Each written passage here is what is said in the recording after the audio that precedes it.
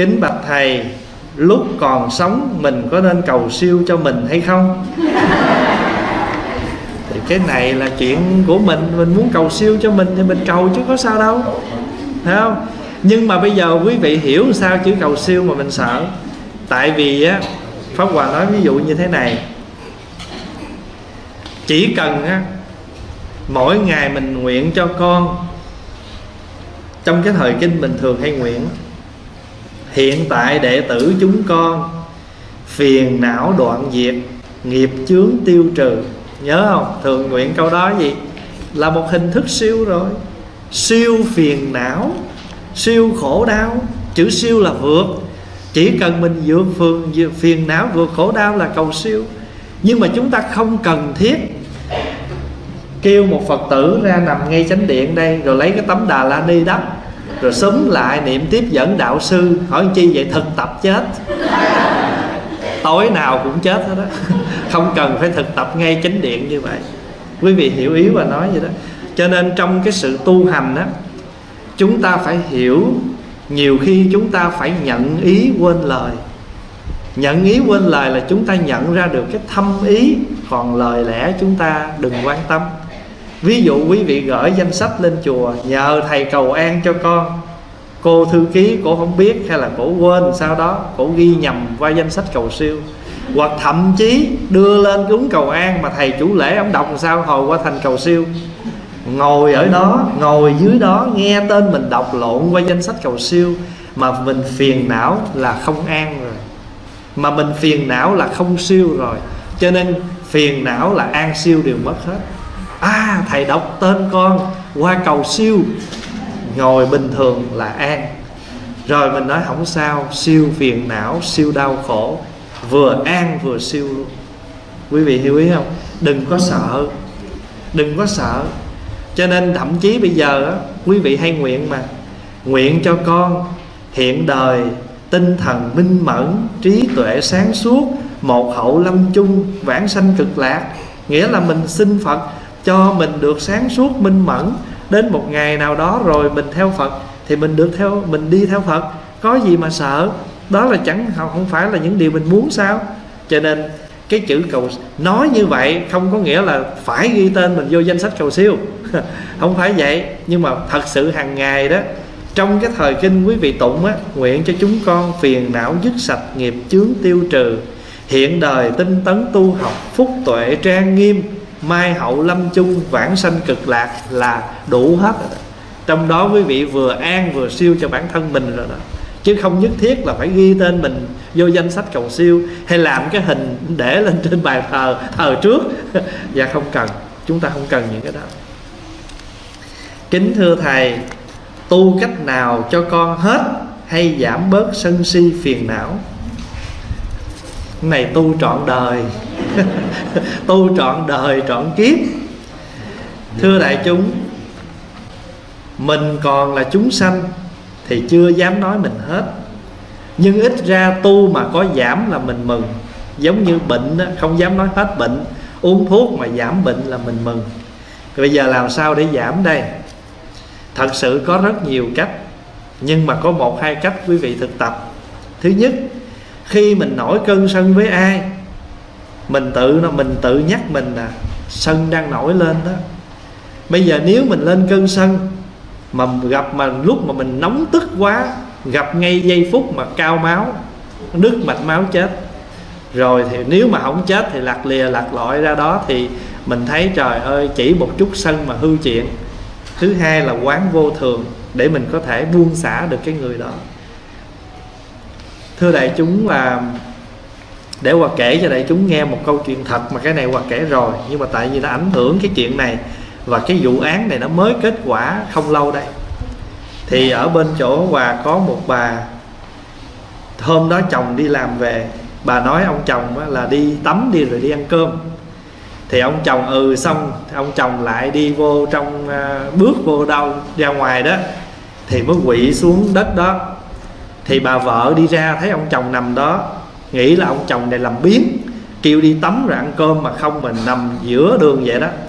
Trong cái cơn tức giận bà mới đi vô trong nhà tắm bà tháo cái cây máng cái màn tắm bà ra bà quánh ông. Thì khi mà bà đánh ông mấy cây như vậy á, thì bắt đầu lúc đó là ông ngã xuống vì ông bị bệnh tim mà bà không có biết.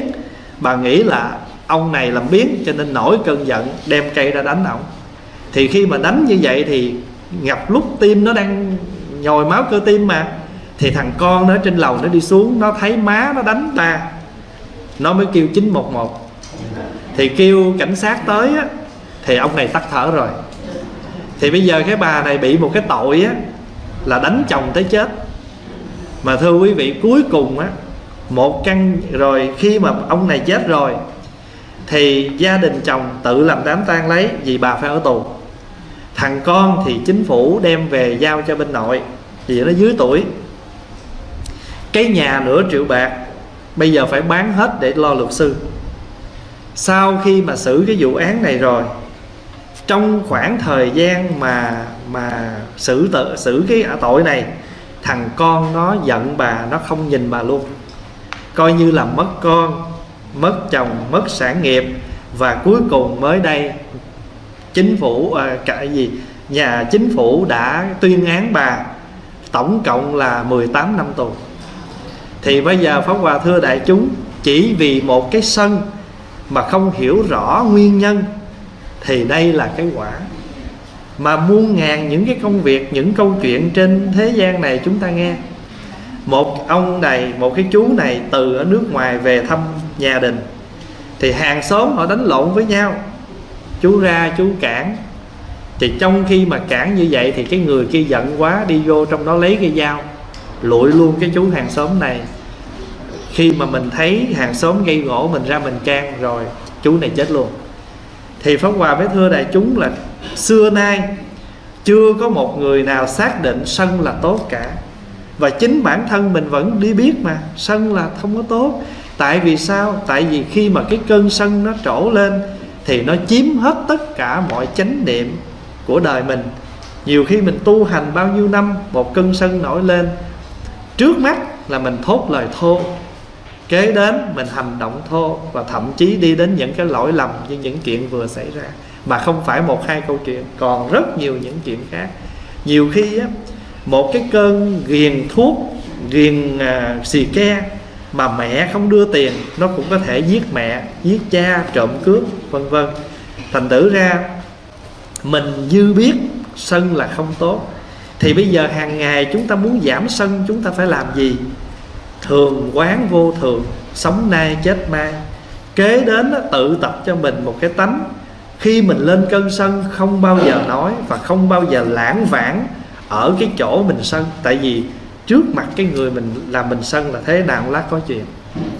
Kế đến những người thân của mình phải hộ niệm cho mình nữa. Quý vị lỡ trong gia đình mình đó, có một người nào mà sân kiểu này đó nóng giận tức tối đó quý vị phải hộ niệm cho họ. Khi mà quý vị thấy họ vừa lên cơn sân quý vị đừng nói nữa tránh đi giảm xuống. Một mặt mình phải hộ niệm cho người thân mình khi mình biết họ thật là một người nóng tánh hai bản thân người nóng tánh phải tự biết mình nóng tánh để tìm cái chỗ lẩn tránh đi. Sống là chúng ta phải nương tựa trợ duyên cho nhau. Quý vị thấy không? Tại làm sao mình sống á bạn của mình chỉ cần gọi tới cho mình một câu thôi chị chị rảnh không? Chở em đi chợ. Được chở em đi chợ liền. Đó là mình trợ duyên cho một người bạn. Thế thì tại sao những người sống chung một nhà với mình mình không trợ cho nhau? Cho nên hôm nào á, mà người thân mình đi làm về mà tuyên bố một câu là hôm nay tôi mệt lắm. Trong lòng có bực bội thì tự trong nhà biết, đừng có ai nói hay làm những cái gì làm cho cái người này nổi cơn sân và thường tìm cách để cho người này dịu xuống. Có một người đó đến nói với pháp hòa là ba nó bỏ nó hồi nhỏ, mà bây giờ nó rất là thương ba nó nó rất muốn gần gũi ba nó mà bây giờ thầy có cách nào thầy chỉ cho con làm sao để con nói cho con con biết là nó nguôi cái cơ cái cơn mà thương ba nó như thế này thế nọ? Thì pháp hòa mới nói cái chuyện này nó cũng khó. Bây giờ pháp hòa ví dụ một người đang đói bụng mình không cho người ta ăn mà cứ tới bên nói quán đi con quán no. Quán con con, con tưởng tượng chén cơm trước mặt con đi không phải. Thật sự trên cuộc đời người ta đang đói thì cái thật là mình phải tìm cho người, cách cho người ta ăn, chứ không phải mình nói như vậy là được. Thì trong cuộc đời cũng vậy, có những người ta khổ, mình không thể tới mình nói cái gì được, nhưng mà cái cách sống của mình có thể làm cho người ta giảm khổ. Thì Pháp Hòa mới bày cho chị, bây giờ chị nói với con mình, viết cho ba nó một lá thơ bằng tất cả tâm tình, bày tỏ tình thương cho ba nó. Và chị cũng phải nói vô một câu là giữa hai vợ chồng có chuyện gì đi nữa, nhưng đừng để đứa con nó phải thương nhớ. Rất khó tìm một người con xa ba rồi mà vẫn thương ba như vậy. Phải không? Và chị phải đóng một vai là không bao giờ nói xấu về ba nó cho nó nghe. Vì đó không phải là cách. Dù mình có giận người đó như thế nào cũng không bao giờ chăm thêm cái sân hận của mình lên một người khác. Mà đa số cuộc sống của mình nó thành một cái thói quen mình tức ai, mình giận ai là mình hay bưng cái giận tức đó đổ cho người khác kế bên mình, bạn bè mình, hòng cho người đó cũng ghét bỏ người kia giống như mình vậy. Mà mình quên rằng chính cái đó là mình đã gieo rắc cái hạt giống sân hận vào trong tâm thức người đó. Và thưa đại chúng, cuộc sống này tìm một người có lòng quảng đại thương người khó. Tìm một người mà ai cũng ghét ghét nhiều người dễ lắm hoặc là ngược lại, chọc cho, làm cho người ta thương khó lắm chọc cho chúng ghét không? Dễ ợt.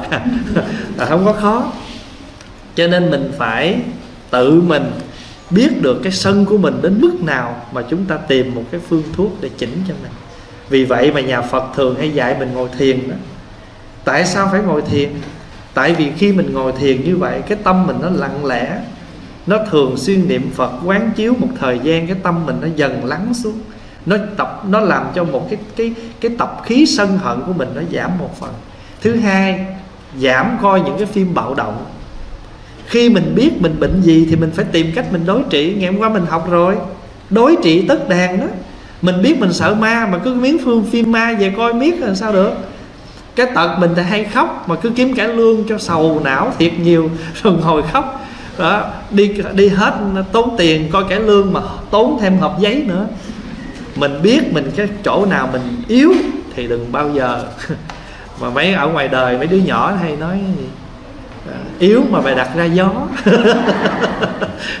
Tức là mình phải tự biết hôm qua pháp hòa có thưa, đối trị tất đàn tức là một phương pháp đối trị để cho thành tựu sự sống, sự tu của mình. Biết mình hệ lụy cái nào thì giảm cái đó xin thầy giải thích cho con con đã quy y, hiện giờ trong nhà con có người thân bị đau rất, bị bệnh rất nặng. Con muốn đến đức mẹ maria cầu xin cho người thân của con được khỏe. Lại thì như vậy có đúng không? Mình là phật tử.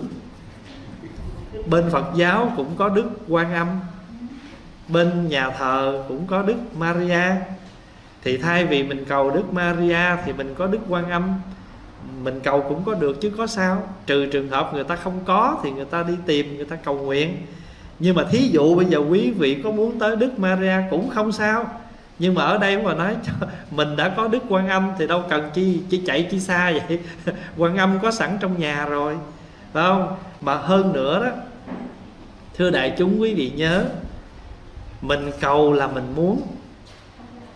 Cầu nguyện mà, cầu là muốn nguyện là làm, mới gọi là cầu nguyện. Con muốn cho người thân con an, con cầu nguyện. Nhưng hàng ngày mình không làm gì cho người đó an, thì cái chữ cầu này nó được có phân nữa cầu nguyện nghĩa là con cầu ước được như vậy và con nguyện sẽ làm. Có nhiều khi người thân mình đó, không cần Maria hay là quan âm gì độ, chỉ cần mình độ họ thôi à. thật sự là vậy. Thế bây giờ ví dụ như bây giờ một người vợ khổ vì người chồng. Rồi bây giờ người chồng chỉ cần làm một đức một đức quan âm thật sự là mình hãy thay đổi mình như thế nào để cho vợ mình được vui, được hạnh phúc. Hoặc ngược lại, chồng khổ vì một người vợ như thế nào đó, chỉ cần mình thay đổi cái cách sống của mình là mình đã độ cho người thân mình rồi. Bây giờ quý vị thường về chùa, lúc nào cũng bày tỏ, sư bà, con thương sư bà lắm thương sư bà là huynh đệ trong nhà sống hòa hợp với nhau. Sư bà bước xuống lúc nào cũng thấy vui từ bếp tới chánh điện. Giờ 85 tuổi sống thêm 25 30 năm nữa dư sức. Phải không? Sở dĩ mà cha mẹ khổ đau buồn tuổi là tại sao? Tại vì con cái không yên. Chứ mình cho nên đó, thường thường các vị hay các vị thiền sư hay nói đó, cầu người không bằng cầu mình tức là mình cầu nguyện là một việc, nhưng chính bản thân mình phải hiểu cái cội gốc gia đình mình đang hệ lụy cái gì mà chúng ta cầu nguyện cho người đó. Bệnh tật, một phần là do ăn uống, một phần là do tâm hồn. Thì bây giờ mình để ý lại cái món ăn của người thân mình, hàng ngày ăn cái gì mà do bệnh tật, thì hãy chăm sóc từng miếng ăn, từng viên thuốc, người đó vui vẻ trở lại. Hay là người đó an ủi, mình bệnh mà được người thân chăm sóc, bệnh tình nó cũng có phần thuyên giảm cho nên có nhiều cách để chữa trị và có nhiều cách để chúng ta cầu nguyện.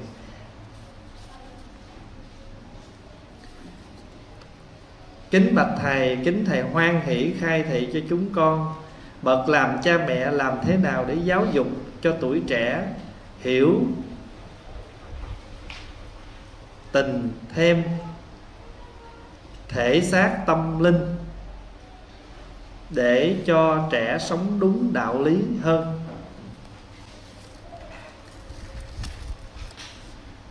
Có nhiều khi á,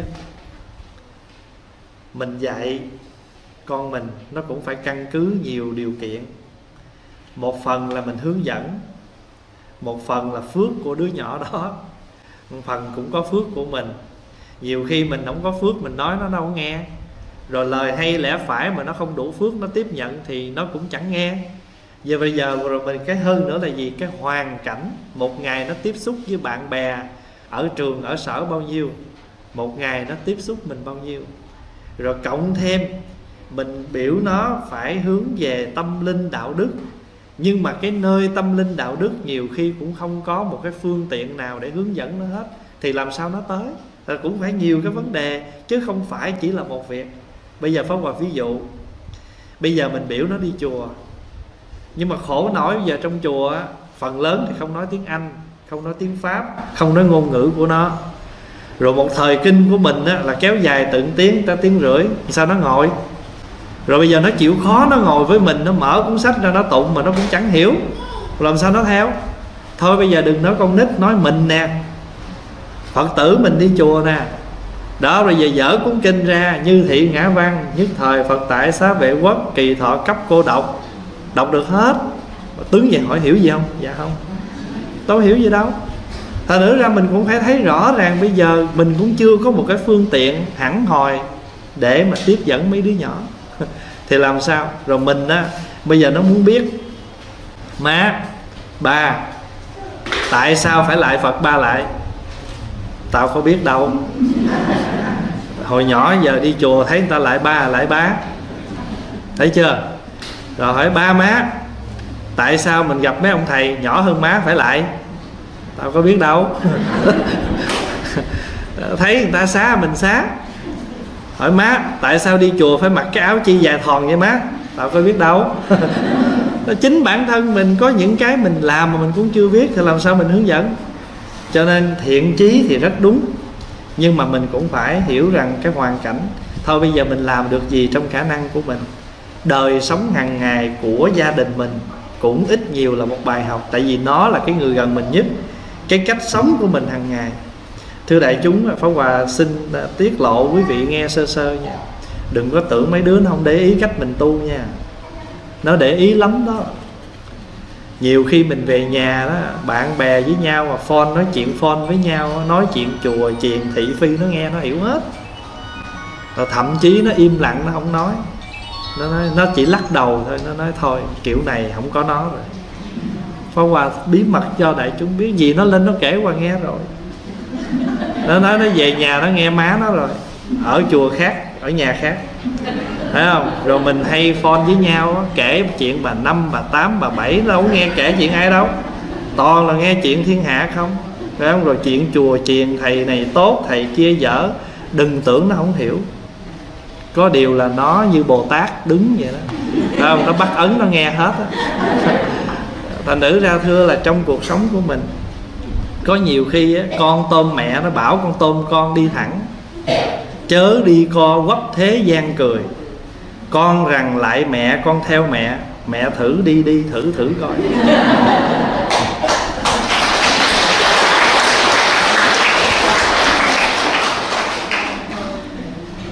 hàng ngày mình phải tu như thế nào mình sống như thế nào để cho con cháu nó thấy được cái hình ảnh tu hành của mình? Pháp Hòa không có ý Pháp Hòa không có nói là phải mặc áo tràng bao nhiêu giờ Phải lại Phật bao nhiêu lại không phải. Cái Pháp Hòa muốn nói là Cái cách mình hành xử Mình sống hàng ngày Đều là một bài học lớn cho con cái của mình. Thưa đại chúng á, Ngay cả người xuất gia Gần gũi một người xuất gia Ảnh hưởng lớn lắm.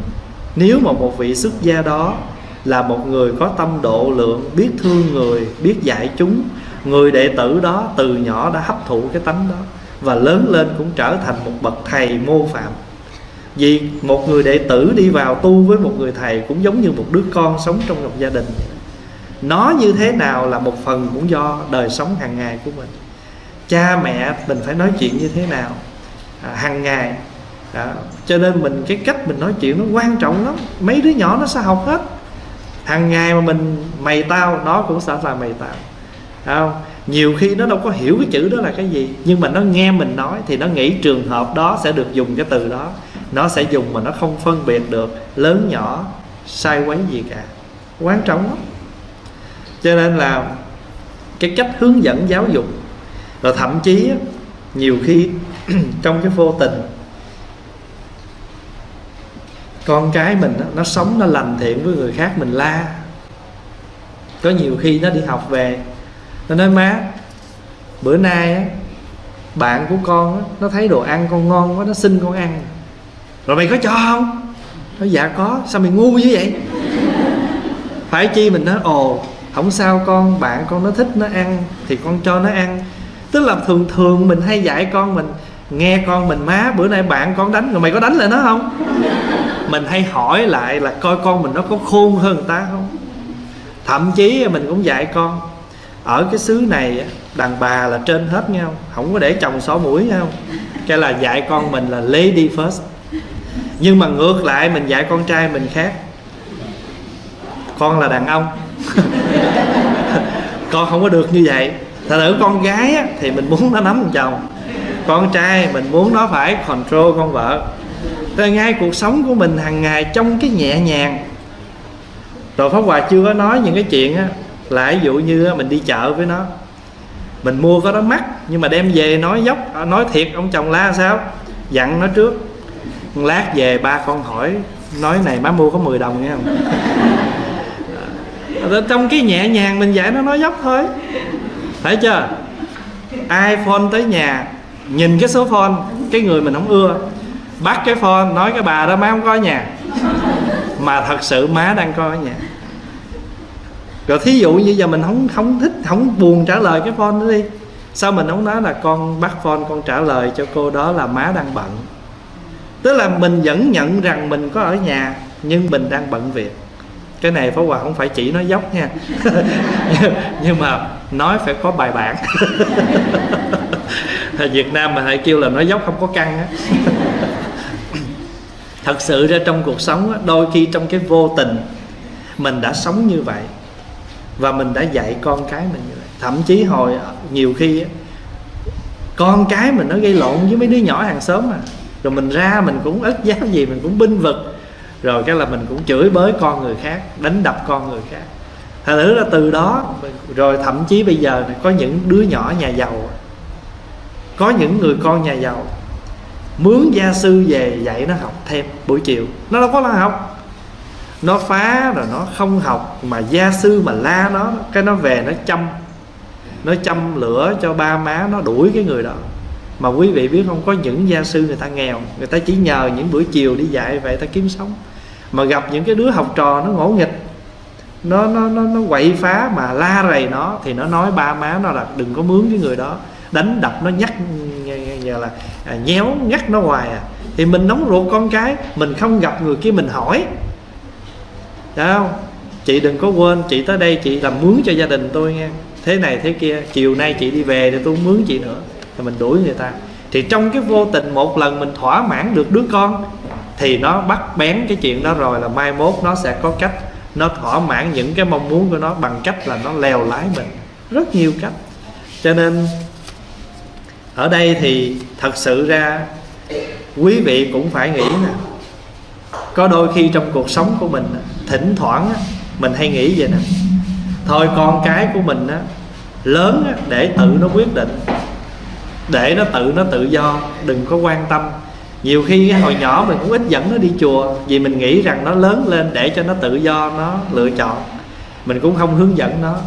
Rồi thậm chí mình cứ nói tiếng anh với nó, mình nói tiếng pháp với nó mà không dạy nó tiếng việt ở nhà. Ngay cái căn bản chữ nghĩa là nó đã mất gốc rồi. Vì sao? Thật sự ra, có những đứa nó có khả năng nó nói, nhưng mà mình không chịu nói với nó. Cứ cha mẹ là cứ ùa nói tiếng anh với nó, tiếng pháp với nó, thì làm sao nó nó không học cái đó? Thành nữ ra, thật sự là mình muốn, nhưng nó có rất nhiều những cái khó khăn mà mình phải quán triệt là nhiều cái thứ góp lại để mà giáo dục một đứa nhỏ. Chứ không phải chỉ cái chuyện là bây giờ mở cái lớp mỗi ngày dạy nó làm sao để cho nó thành tựu, mà chúng ta quán từ cái hoàn cảnh những người xung quanh cho đến những cái cách sống trong gia đình của mình. Chẳng hạn như buổi chiều ăn cơm, làm gì làm, mỗi người phải ngồi chung là ăn cơm với nhau. Để cho đứa nhỏ đó luôn luôn thấy được cái hình ảnh là ăn cơm gia đình. Đằng này đi học về, tới giờ ăn cơm, ba ăn tô mẹ ăn tô con ăn tô mạnh ai nấy có hướng nó có cái game má có phim hàn quốc ba thì có bóng rổ bóng đá gì trên tivi nội cũng cơm chiều thôi là mỗi người đã một hướng rồi. Thì làm sao mà thấy được những hướng nào nữa? Rồi thậm chí bây giờ nhà nào cũng tivi nhà nào cũng có những cái computer. Ăn cơm xong là mạnh ai nấy về phòng mạnh ai nấy có thế giới riêng của mình. Nó cũng đã là một cái khó khăn rồi. À, rồi cuối tuần nhiều khi mẹ đi chùa ba đi câu cá con đi với bạn. Cuối tuần cũng không có một hướng chung. Là mình phải khéo léo mình tạo như thế nào để cho gia đình mình có một cái hướng chung. Mà điều đó không phải vợ một mình vợ cũng không phải một mình chồng mà đòi hỏi cả hai người. Rồi thậm chí ông bà cũng phải hợp tác. Ba má nó dạy đường. Ba má đi làm giao lại nhà mình mình dạy nó một kiểu. À, mình thương ông bà hay nói là gì? Thương cháu thương dạy thương dột mà cái kiểu gì mình cũng chiều nó hết. Mà ba má nó nói cái mình giận. Mình không giữ nữa. Nhiều cái vấn đề trong cuộc sống, trong gia đình. Cho nên là một, thời gian ngắn không thể nói hết. Cái này là mình cần phải có những cái buổi pháp đàm giữa những bậc phụ huynh ngồi lại với nhau. Làm sao để chúng ta có một cái chia sẻ với nhau những cái khó khăn về dạy dỗ con cái. Ví dụ như chùa có thể lâu lâu tổ chức những cái pháp đàm cha mẹ ngồi lại để chia sẻ những khó khăn với con cái. Ở bên đó, mỗi lần khóa tu mà mấy đứa nhỏ, Pháp Hòa hay tổ chức là các con hãy ngồi lại với nhau, chia sẻ những khó khăn nào mình gặp giữa mình với cha mẹ. Nó sẽ nói cho mình nghe. Và thậm chí có nhiều đứa nó viết vô giấy. Nó viết vô giấy rồi nó bỏ vô trong cái cái hộp bánh nó đưa lên.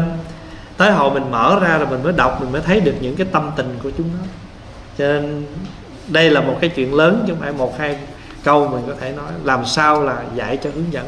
Ngay cả hàng ngày cái cách cái cách mà mà mà cái cách mà mà, mà đời sống hàng ngày ăn uống hay là thậm chí cúng dỗ rồi trong gia đình mình làm sao cho thật là nhẹ nhàng mà hướng dẫn được các con của mình. Thí dụ bây giờ mình dẫn nó đi chùa cho nó lại phật xong rồi chùa sắp sửa có thời kinh một là cho nó ngồi dự khoảng thời gian ngắn rồi cho nó ra về hoặc cho nó ra chơi. Rồi hoặc là trước khi vào kinh cho nó lễ phật thăm rồi cho nó ra vì nó chưa có thể tiếp xúc được với cái đó. Nó, người lớn mà ngồi một hồi còn quải mà. Có nhiều người tụng kinh chứ lật coi còn mấy trang nữa. Huống chi là mấy đứa nhỏ đó. cho nên đại chúng thông cảm như vậy.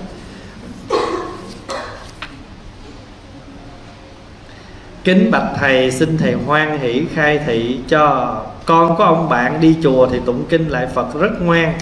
Nhưng sao về nhà không bao giờ chịu tụng kinh lễ sám là sao? Trời, cái này hỏi ổng chứ. Em có em có ở trong bụng ổng đâu mà em biết ông nghĩ cái gì. Có thể như thế này. Tức là mình cũng đoán thôi nha ví dụ như bây giờ ví dụ như ông nghĩ rằng á, thôi bây giờ mình về chùa mình tụng thời kinh một tuần lễ vậy là đủ rồi. Về nhà không cần thiết nữa. Nhưng mà thưa đại chúng quý vị đừng lầm là phải về nhà tụng kinh mỗi ngày mới gọi là đúng. Dĩ nhiên là đó là hành trì là đốt tốt chứ. Nhưng mà có những người người ta không làm như vậy. Một lần về chùa là người ta tụng nhưng sự ứng dụng của người ta có. Thì cái này cũng không thể nói người ta sai nhiều khi người ta tụng một mà người ta tu ba. Còn mình á, tụng năm mà tu có phân nửa. Phải không? Nhiều khi mình tụng có 1.5 mình hành có 1.5 mà. Mà mình tụng tuần lễ 7 bữa. Nhiều khi tụng nhiều, nhưng mà cái ứng của mình chưa bao nhiêu. Còn nhiều khi người ta tụng ít mà người ta có sự hành trì. Dĩ nhiên là người ai hành trì mỗi ngày là điều tốt. Nhưng có những trường hợp chúng ta phải nhìn lại mình đừng có để ý người ta tụng kinh hay không, mà mình hãy để ý coi người ta sống như thế nào. Người ta sống như thế nào mới hiểu được là người ta tu như thế nào. Ta thấm nhập lời kinh như thế nào. Cho nên quý vị thấy có nhiều khi, chà này phải nói thêm bài kinh nữa. Phật có nói bài kinh, người tu có bốn dạng có nhiều khi ở ngoài sống mà trong chính như loại trái cây trái cây có bốn thứ. Phật nói có bài kinh trái cây có bốn thứ Có nhiều khi ngoài sống mà trong chính Có nhiều khi thì sao? Ngoài chính mà trong sống Có nhiều khi chính ngoài chính trong Có nhiều khi sống ngoài lẫn sống trong. Thì có nhiều khi chúng ta nhìn như chính vậy đó Mà đụng tới nó sống nhăn Nó thuộc dạng chuối chát Tức là mình nhiều khi á, thấy ngoài Nghiêm trang đạo mạo, phải không? Nam mô a chân trái, di đà phật chân phải. Ai mà đi trật một cái, chết nha. Mày đi về tội chết. Phật mà đi chân trái, phật phải chân phải. Mình quy định đàng hoàng mà không nghe phật nói. Mình quy định phật phải chân phải, mà chưa bao giờ câu nào trong kinh nói câu đó. Mình tu đã tuệ giác nó sanh, đại diện cho phật luôn. Bắt chân phải phải là phật. Đúng không? Nhiều khi á, nhìn ở ngoài thì rất chính phải không? Nhưng mà khi tới gần thì rất sống. Cho ở đây thì thứ nhất mình không thể quy định người ta tu hay không do sự tụng niệm hay là không có tụng niệm. Quý vị có nhớ ngọc lâm quốc sư không? Ai coi phim thoát và ai đọc truyện thoát vòng tục lụy hai hai huynh đệ tu chung. Ông ngọc lam thì ông bê bối. Hạ kiếm ổng là thấy ông ngủ không bao giờ thấy ông tụng kinh. Vậy mà cuối cùng ổng là người giúp đỡ cho sư đệ mình. Còn sư đệ của mình lúc nào cũng oai nghi dữ dằn, nhưng mà cuối cùng lại là người thua cuộc. Thua đây không phải là hơn thua trong cái vấn đề tu hành, mà hoàn toàn không có nắm bắt được cái cái phương pháp tu học của mình. Cho nên, thưa đại chúng, là nhiều khi mình khoan, quy định á, nhiều khi thấy cái ông đó mặc lông bào mình tưởng ông thái tử. À, hay là mình thấy cái ông đó mặc đồ rách rưới của cái bang mình tưởng ổng thật sự là cái bang. Cho nên ở trong cuộc sống của chúng ta đó à, cái cõi này nè tịnh độ nó có bốn thứ tịnh độ. Cõi của phật a di đà được gọi là phàm thánh đồng cư tịnh độ. Nghĩa là phật bồ tát các vị thánh tăng là thánh chúng ta là kẻ phàm mới vừa được lọt lên trển. Ở chung ở ké. Cho nên cõi cực lạc phật di đà được gọi là cõi phàm thánh đồng cư. Có nhiều khi mình tu lơ mơ mình chưa được uh, thượng phẩm hay trung phẩm mà hạ phẩm mà hạ không phải là hạ phẩm thượng mà hạ phẩm hạ sanh. Nhưng mà cái cái kiểu này là kiểu giới giác hạ phẩm hạ sanh được lên tới trển là còn phàm phu mà nhưng mà mình ở trên đó thì lại được cái cơ hội nghe pháp mỗi ngày, cho nên từ từ mình tiến hóa. Cho nên mình là phàm được lật lên trển. Phật bồ tát chịu khó ở chung với mình, cho nên gọi là phàm thánh đồng cư. Bây giờ quý vị nhìn lại coi, cõi đời này chúng ta có cái dạng phàm thánh đồng cư không? Có, phải không? Cho nên mình cũng không dám ai nhìn nhìn, không dám nhìn ai là phàm hết à. tốt hết là học như ngài ấn quang dạy đi. Ta là phàm phu, còn người khác là bồ tát. Cho nên nhiều khi người ta hiện cái tướng là tu ra la ra vậy đó. Để cho mình bực bội, mình tu ra gắt củ kiệu chơi. Nhiều khi người ta hiện cái tướng vậy để mình tu cho vững lên. Rồi mình không dám định là người này đúng sai, nhưng mà hãy nhìn cái cái cách sống của họ để chúng ta được hiểu là họ là những người tu như thế nào con nghe pháp có dạy rằng, càng tu thì phước sanh nghiệp giảm, đồng nghĩa là khi phước sanh thì họa sẽ giảm. Nhưng cũng có nghe là khi ta càng tu, nhất là tu đúng thì nghiệp sẽ đổ. Khi đổ nghiệp thì hoạn nạn sẽ đến. Hai điều này có gì mâu thuẫn không? Quý vị hiểu câu hỏi không? Có một trường hợp nói rằng mình tu nhiều chừng nào thì phước nó sanh, nghiệp nó giảm nhưng mà có trường hợp là mình tu thiệt nhiều thì độ nghiệp nó đổ. Thưa đại chúng, không có gì mâu thuẫn mà nó hỗ trợ cho nhau. Mình càng tu đời này nè, càng tu đời này thì phước đời này nó sanh. Nhưng mà nghiệp mà nó đổ là đâu phải nghiệp đời này, nghiệp quá khứ. Nó đổ cái quá khứ, nhưng mà nhờ cái phước đời này, cho nên chúng ta biết quán chiếu và đủ sức để chịu cái nghiệp cũ. Pháp Hòa ví dụ Trong người Pháp Hòa có bệnh Nhưng mà lọt qua được tới xứ Pháp Uống được mớ thuốc tốt. Thì uống được thuốc tốt Nhờ uống được thuốc tốt cho nên bệnh cũ nó tái phát. Phải không? Thì chúng ta không đến nỗi bệnh hoạn Và chúng ta nhờ cái thuốc tốt này Mà giúp cho cái cái cái cái, cái bệnh cũ ở trong người mình Nó có phần thuyên giảm hoặc là nhẹ hơn cũng như thế. Nếu mình không có tu hành gì hết, nghiệp chắc chắn cũng sẽ đổ như thường lệ. Nhưng người không tu thì nó ra tới đâu là khổ tới đó. Còn người hiểu đạo rồi thì sao? À biết kiểm nó liền. Người chưa hiểu đạo, thấy nghiệp là nghiệp. Người hiểu đạo rồi, có phước nhìn rồi thì thấy nghiệp là nguyện. Hồi đó mình không biết, chăm sóc người thân, mà mỗi lần chăm sóc là dũa trời ơi, tôi không biết tôi mần ăn khổ báo gì toàn là nợ không? Báo đời, báo hại gì đó. Nhưng bây giờ mình biết tu rồi. Không, nguyện. Chăm sóc người bệnh mà không phải là nghiệp, nguyện. Quý vị thấy các vị bồ tát không? Có bà con gì với mình đâu. Mình cũng phải xin các ngài. Có một ví dụ trường hợp vậy. Phật cả tuốt Ấn Độ mà giờ mình người Việt Nam cũng xin ngài phù hộ. Ví dụ vậy. Bây giờ ở đây nè mình tu á, là mình có một cái năng lực năng lực để chúng ta chấp nhận được tất cả mọi hoàn cảnh. Nhờ vậy cho nên tất cả những cái nghiệp quá khứ nó có đến với mình mình biết tiếp nhận bây giờ phật tử hiểu tứ diệu đế khổ. Trong khổ đó có bệnh khổ già khổ. Thì tự nhiên bây giờ mình có bệnh có già buồn mà không có khổ. Bị sao? Hiểu đạo rồi chứ đâu phải quý vị hiểu đạo rồi cái không già không bệnh đâu. Phải không? Mà bây giờ già bệnh là một phần của cuộc sống. Nó tới với mình thì mình không có quá đau khổ. Trời ơi, sao tôi bệnh như thế này, tôi khổ như thế kia? Không phải. Mình có cái phước để mình nhận ra được cái đó. Cho nên đó càng tu càng có phước. Phước này là phước gì? Phước trí tuệ. Phước để chúng ta nhận tất cả mọi hiện tướng, mọi thật tướng của thế gian này. Sanh, trụ, dị, diệt thấy không? Đây nè, hoa này nè. Đây là xanh nha. Bây giờ quý vị thấy nó tươi vậy phải không? Tạm gọi là trụ. Nhưng trong thời gian nó trụ, nó đang dị dị là nó biến đổi.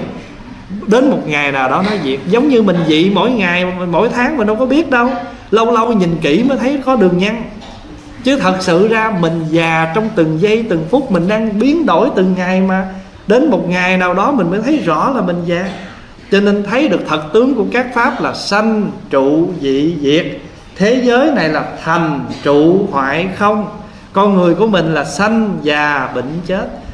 Phước là mình thấy được cái đó. Cho nên mọi cái thật tướng thế gian nó hiện rõ, mình nói được hết. Mình nói được hết, cho nên mình vượt qua được tất cả mọi khổ ách. Như ngày quán tự tại. Đâu phải ngài thấy ngài thăm, bát nhã thâm sâu rồi là ngài không già, không bệnh đâu nhưng mà ngài thấy rõ ngũ quẩn là không. Sắc thọ tưởng hành thức tạm thời gom lại. Hễ mà nó gom lại á, thì gọi là ngũ uẩn nó ngăn che làm cho mình khổ sở với nó gọi là ngũ ấm. Và ngài quán triệt ngài thấy rằng à mình có con mắt thì dĩ nhiên phải nhìn tướng. Nhưng mà nếu mà con mắt nhìn cái tướng thôi không đắm nhiễm gì hết thì cái tướng đó là tướng cảnh. Sắc cảnh. Còn hễ tôi đắm chìm với nó thì gọi là sắc sắc trần cho nên cũng là cái phước thấy được Phật pháp như vậy. Cho quý vị bây giờ quý vị nghiệm câu pháp hòa nói quý vị lâu lâu quý vị lên tắt bạch này. chúng con nhận thấy rằng mình còn chút phước duyên. Sanh ra đời này được đầy đủ sáu căn. À, được gặp phật pháp nhận mình có phước rồi. Nhưng mà tất cả những cái gì nó biến đổi trong cuộc đời này nếu mình không có cái phước nhận ra sự thật đó trầm luân đau khổ còn có cái phước nhận ra hết tất cả rồi thì khổ đau không có. Cho quý vị thấy không? Đường đi thỉnh kinh khó không? Của thầy trò đường tăng. Khó lắm. Tại sao ờ, tôn ngộ không có thần thông không vận cái một, đưa thầy bốn thầy trò tới tây phương cực lạc mà phải để đi một đoạn đường dài như vậy? Muốn thỉnh kinh nghĩa là muốn tới cái chỗ an vui đó. Đâu phải cái vèo mà tới đâu, phải trải qua nhiều khó khăn mà khó khăn đó không ai hết á, tự bốn thầy trò. Ba người đệ tử là tham sân si, ông thầy chính là mình, ngài huyền trang là mình. Ba đứa tôn ngộ không, ngộ tịnh, ngộ năng là ba đứa tham sân si, nó nằm trong mình, nó là đệ tử của mình. Mình đi chùa, mình thỉnh kinh, nó cũng đi theo. Rồi lâu lâu nó đánh lộn không? nó cũng anh em nó giành ăn với nhau. Nó gây gỗ à. Nhưng mà thầy ra thầy dàn xếp và cái đứa nào thông minh phải dạy nó tu. Ngộ không thông minh lắm, phải trồng trong cái đầu ổng kim cô. Kim cô đó là gì? Đó là giới pháp đạo đức. Một người thông minh mà không có đạo đức, không có giới pháp thì nguy hiểm hại người. Phải không? Cho nên cả một cái bộ phim tôi du ký, gọi là tây du ký, đoạn đường đi tới tây phương, chúng ta cũng là những người đang đi tới tây phương. Tức là chúng ta đang cầu học, cầu mong cái sự lành thiện mà sự lành thiện không phải dễ dàng, mà nó phải trải qua nhiều khó khăn. Có phước lắm mới được thấy những điều đó. Cho nên mình có phước để có trí tuệ, có học phật. Học phật để làm gì? Để khi những sự việc nó xảy ra, nghiệp chướng nó đến, chúng ta đều biết nó mà không khổ. Vậy thì hai cái này nó làm sao? Nó hỗ trợ cho nhau chứ không có gì mâu thuẫn bạch thầy, thọ bát quan trai, chiều uống sữa được không? Uống bằng ly hay uống bằng bình.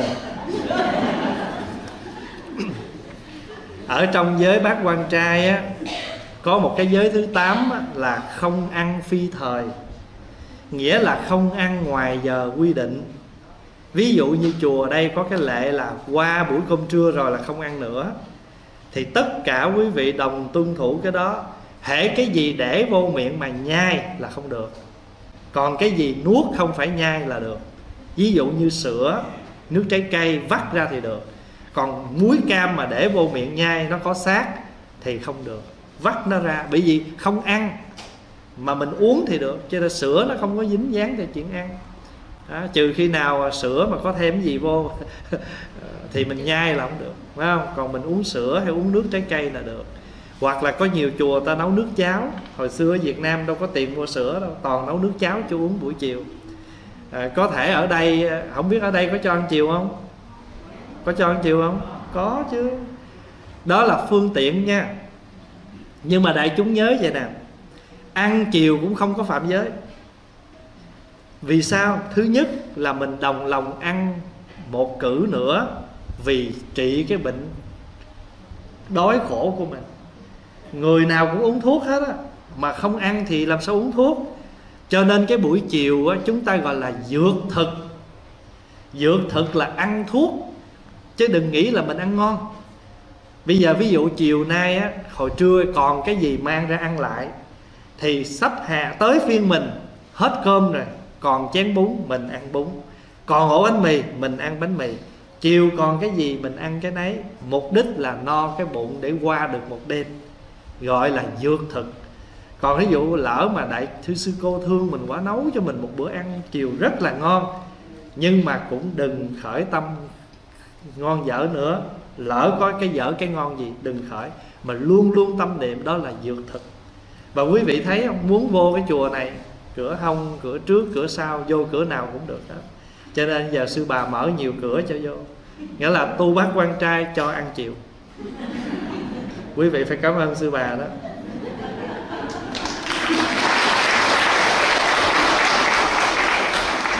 Cho pháp hòa biết cho nên trưa đâu có ăn nhiều.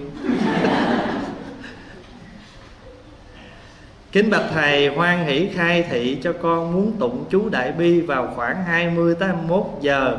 Vì con bận đi làm kính thầy cho con được rõ. Muốn tụng giờ nào tụng? Không có quy định giờ nào cả. Giờ nào thuận tiện cho mình thì mình cứ tu.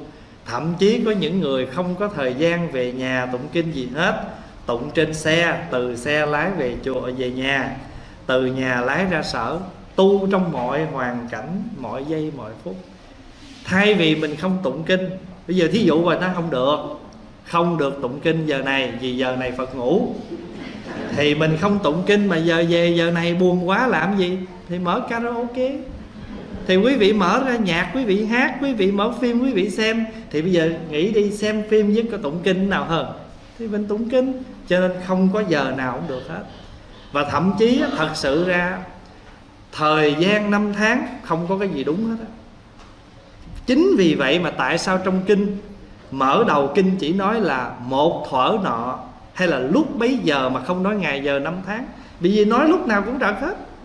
Bây giờ thí dụ mình đang ở pháp nè, mình nói là hôm đó ngày 23 tháng 6 nhưng mà cuốn kinh này mai mốt viết xong rồi lọt qua tới Việt Nam thì 23 tháng 6 này là 24 tháng 6 bển rồi. Phải không? Rồi mình nói là vào giữa trưa nóng bức bên úc ta nói ủa ngày này tôi nhớ đâu có nóng. À, mùa đông mà. Quý vị thấy không? Vì vậy trong kinh không dùng ngày tháng năm gì hết mà chỉ để một câu là lúc bấy giờ là một một lúc đó thôi. Ngày tháng giờ ngày có gì đâu mà nói. Cho nên đừng có bị cái chuyện có nhiều người hồi nhỏ mà nhớ 8 giờ tối không cho thắp nhang. Hỏi sao vậy? Cửa thiên đình đóng rồi. Đốt nhang lên trển không có vô được cửa. Rồi không có ai chứng cho mình. Đấy, phật tử là không có nói mấy cái đó được. Phật tử mà thỉnh sư bà vô chụp hình, thỉnh thầy vô chụp hình, con vô nữa không được, có ba người à. Chết chết ngắt. Ở sao chết? Chết chắc. Trước sau cũng chắc chết. chắc chết là chết chắc gì nữa. Con thường đem phật pháp lan rộng đến gia đình và những người xung quanh, họ rất thích. Nhưng họ nói rằng phật pháp thích hợp với những người tốt, có ý sống tỉnh thức.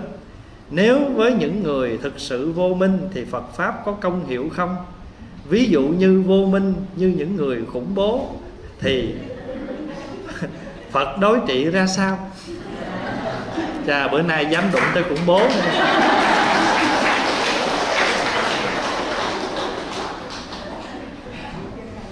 ai hỏi câu này, lát đừng có gọi đi tới tới mấy chỗ khủng bố nha thưa đại chúng á,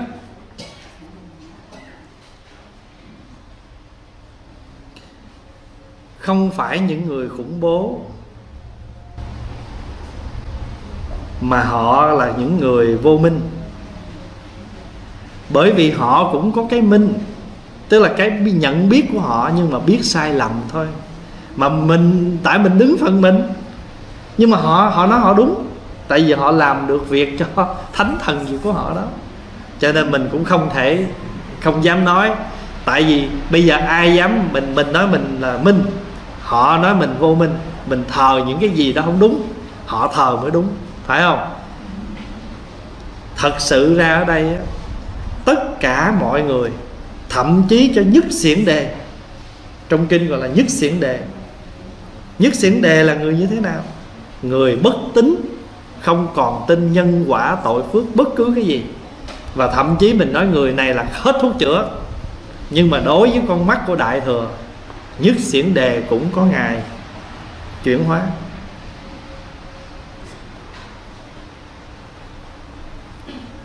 Tại vì sao? Vì đức phật luôn luôn xác định một con người, họ đều có cái khả năng tình thương của họ, nhưng mà họ chưa phát triển tới đủ thôi. Và cũng đừng nghĩ rằng phật pháp chỉ để cho những người tốt. Thế thì mình không phải là mở phòng mạch. Một người bác sĩ mở phòng mạch không thể nào tuyên bố rằng chỗ của tôi chỉ chữa những người hết bệnh, khỏe mạnh, ai bệnh xin mời đi nơi khác. Ông bác sĩ không, bác sĩ là phải nhận bệnh nhân chứ bác sĩ đâu có phải là nhận những người không bệnh. Cũng như vậy. Nhưng mà nó có hai trường hợp. Phật pháp, những người thượng căn, thượng trí, người ta tiếp nhận một cách mau lẹ. Và có những người người ta căn trí chậm chạp, người ta tiếp nhận lâu hơn, thời gian dài hơn. Bây giờ quý vị nhìn, bây giờ phóng vào ví dụ hột é để vô nước, nở liền. Măng khô, ngâm vô nước không mềm. Phải bỏ vô nồi hầm hầm bao lâu đó thì măng nó mới mới mềm, mới nở. Thấy chưa? Mà thậm chí mà mình chỉ rờ ở ngoài nó mềm mềm á, nấu chưa chắc nó đã mềm. Măng mà mình, măng mà đã chấp nhận ăn măng khô thì phải hầm cho nó tới. Còn không thì măng chỉ nấu cho nó có mùi mà không ăn được. Quý vị nấu sôi, mặc dù là nếp nó nở, nhưng cũng phải ngâm nếp rồi cũng phải cho nó khoảng thời gian nào để nó nở được hột nếp. Phải vậy không?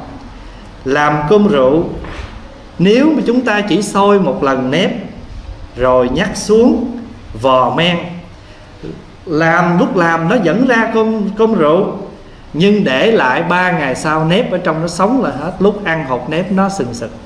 Vì chúng ta không biết cách hấp nếp. Muốn làm con rượu nó nở để 10 ngày trong tủ lạnh, hột nếp vẫn không có cứng, thì phải hấp nếp hai lần. Chẳng những vậy mà lần thứ nhất mang xuống phải xả nước thiệt sạch để cho cái chất nhờn của nếp nó trôi đi, nó không bao hột nếp lại, thì nếp nó mới không bị nín độ người cũng như là mình nấu nếp vậy. Có những người chỉ thấy họ sơ sơ tưởng trơn trơn vậy là được rồi đó. Không phải. Cho nên có những người họ như vậy đó. Nhưng mà nếu chúng ta trì trí thì chúng ta cũng sẽ làm được cái điều đó. Quý vị thấy không? Làm sao mình tin được một bức tường ở bên đức bên đông đức tây đức có ngày nó sụp đổ? Những quốc gia hoàn toàn à, à, gì đó cộng sản mà có những ngày nó trở thành ra những quốc gia không cộng sản. Một con người cháu cho mình trong nhà, trời ơi, bữa nay mình không ngờ nó tu. Không nói được. Cái đó gọi là bất khả tư nghị. Nhưng mà nó đòi hỏi cái gì? Nó đòi hỏi cái sự trì trí của chúng sanh, hay là trì trí của mỗi con người. Trong kinh địa tạng nói, con thắc mắc một điều là tại sao ngài địa tạng đưa chúng sanh ra khỏi địa ngục rồi? Rồi họ lon ton, họ trở vô nữa, làm nhọc cho ngài địa tạng quá. Quý vị nhớ cái câu đó trong kinh không? Đó, vậy thì tại sao? Vì có những chúng sanh, nó làm sao? Nó là những người, có những chúng sanh, họ chỉ là những người hốt tỉnh, hốt giác. Lát họ mê, lát họ tỉnh, chứ chưa phải là toàn giác. Mà bây giờ chúng sanh mà hốt tỉnh, hốt giác thì nhiều. Mình cũng vậy thôi chứ có khác đâu. Nếu mình toàn giác thì mình là phật. Mình hốt giác hốt mê tụng kinh mà lúc nhớ lúc quên mà. Tụng bài chú đại bi ba chục năm rồi mà giờ thuộc đại bi còn chưa trọn mà. Nội cái tụng khúc cuối á, na ra cẩn trì ta bà ha ma ra na ra ta bà ha là mình ra hoài mà không ra nổi cửa. Cuối cùng bực quá thôi án tất điện đô mạng. Nữa có không? Cho nên thưa đại chúng là mình không có nói ai cứng đầu cứng cổ. Pháp Hòa chỉ đưa một vài cái ví dụ ngay cuộc sống của mình.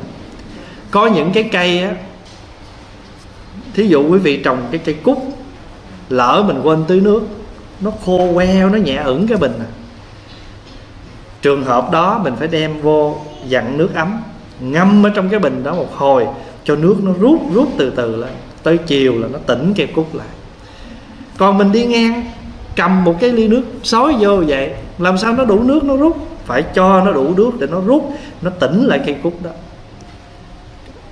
Đó, rồi pháp hòa ví dụ như bây giờ mình nè. Mình ăn chay bao nhiêu năm? Nhưng mà thỉnh thoảng mình còn trả giá với phật. Phật ơi, bữa nay con bận đi đám cưới, mai con ăn bù. rồi bữa nào mình mệt mỏi mà cũng đâu có chịu tụng kinh gì đâu. Ta nói chung là cuộc mình là những người phật tử thuần thành đó. Mà đôi khi, rồi thậm chí mình tức giận ai quá, mình còn nói là sao? Tôi tôi bữa nay tôi chấp nhận đậu đọa địa ngục. Tôi phải giật cái người này mới được thế này, thế kia, phải không? Cho thưa đại chúng, đối với đức phật, không có ai là người bất trị hết nó đòi hỏi mỗi chúng ta là gì? Cái thứ nhất là cái nhân duyên với người đó. Nhiều khi á, mình không đủ duyên độ họ mà biết đâu chừng mai này có một cái nào đó độ được họ sao? Quý vị nhớ không? Phật khóa hữu duyên nhân vô duyên phật bất độ. Phật chỉ độ được những người có duyên với phật thôi còn người không có duyên phật chịu. Phật chịu phật không thể độ được bởi vì quý vị thấy không? Tại làm sao ngài a nan gần phật như vậy mà cuối cùng phật mất rồi, ngài a nan vẫn chưa chứng quả. Đó. Rồi ngài la hầu la nhỏ nhất trong chùa. Mà thậm chí là ngài một kiền liên, ngài xá lợi phất độ không được những bà già keo kiệt thời đó. Mà gặp ngài la hầu la thì họ lại nghe lời. Cái gì cũng phải nói tới cái duyên. Vừa rồi pháp hòa nói cái bài duyên đó ở stuttgart, bên đức cuộc sống của mình là phải gieo duyên nè, kết duyên nè, phải không? Rồi giao duyên nè, rồi mình cầu cái thuận duyên nè, không muốn nghịch duyên nè.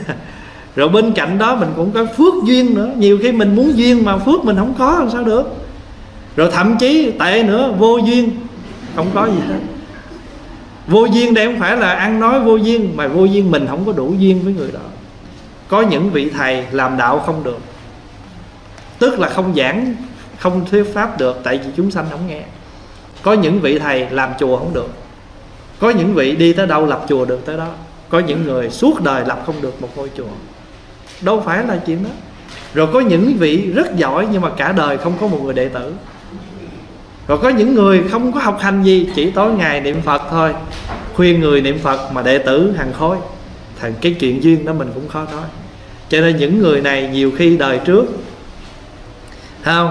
Họ có duyên với cái đạo giáo đó và cái đó là cái cách mà họ sống.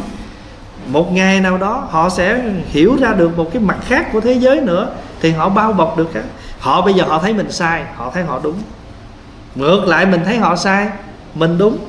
Cái thấy nào cũng là biên kiến thôi chưa phải là cái toàn vẹn.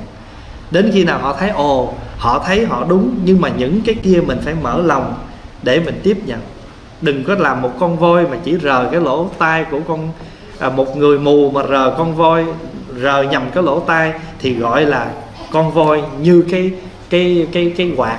Hay là rờ nhầm cái chân thì bảo rằng con voi nó như là cái cột nhà. Diễn tả được một phần của con voi mà không nói được hết trọn vẹn cái con voi. Ở đây cũng như vậy. Thôi bây giờ mình đừng nói chi những người khủng bố nó xa với mình quá. Những người gần gần mình đấy nè có những người mình nói nó được đâu. Phải không? Giáo pháp của phật như một trận mưa. Cây đại thọ sẽ rút nước nhiều, cây trung bình rút nước một phần. Ngọn cỏ nó hút theo ngọn cỏ. Thì ai cũng đều thấm nhuần tùy theo cái cái căn cơ trình độ. Ngày hôm qua mình nói vị nhân tất đạt có những người người ta không tin Phật pháp. Mình không cần dùng những từ Phật pháp với họ quý vị biết ở bên Pháp Hòa, mỗi chiều thứ sáu, có khoảng ba chục, bốn chục người Mỹ vô ngồi thiền. Hai mươi mấy năm nay, thứ sáu nào họ cũng vô ngồi thiền. Nhưng họ không phải là Phật tử. Có những người linh mục mục sư, hay những người đạo chúa, đạo gì đó, nhiều chùa mà đeo cái thánh giá, bự vậy đó. Có sao đâu. Pháp Hòa không có dùng từ thiền gì đó với họ. Quý vị ngồi tịnh tâm. Mình chỉ cho họ phương pháp thực tập tịnh tâm mà khi tâm họ tịnh thì tự động họ sẽ đóng góp một phần nào lành thiện cho xã hội, cho mọi người. Mà đạo phật không phải là đạo thần, đạo thánh gì cả. Mà đạo phật là cách sống, chỉ cho con người sống thiện, sống chân, sống tốt. Chân thiện mỹ. Người sống được chân thiện mỹ là đạo phật. Đạo phật đâu phải để cho mình nói chuyện thần thánh mà đạo phật cho con người. Ngày nào con người còn khổ, ngày đó đạo phật còn có mặt. Ngày nào con người hết khổ, đạo phật không cần ngày nào có người còn bệnh, những công ty bào chế thuốc vẫn phải tiếp tục bào chế. Đến khi nào con người không có bệnh thì thuốc để làm gì? Phải không? Cho nên thuốc chỉ để trị bệnh. Những đường lối hướng dẫn chỉ cho tất cả mọi con người. Mà có những người tiếp nhận được, có những người chưa tiếp nhận.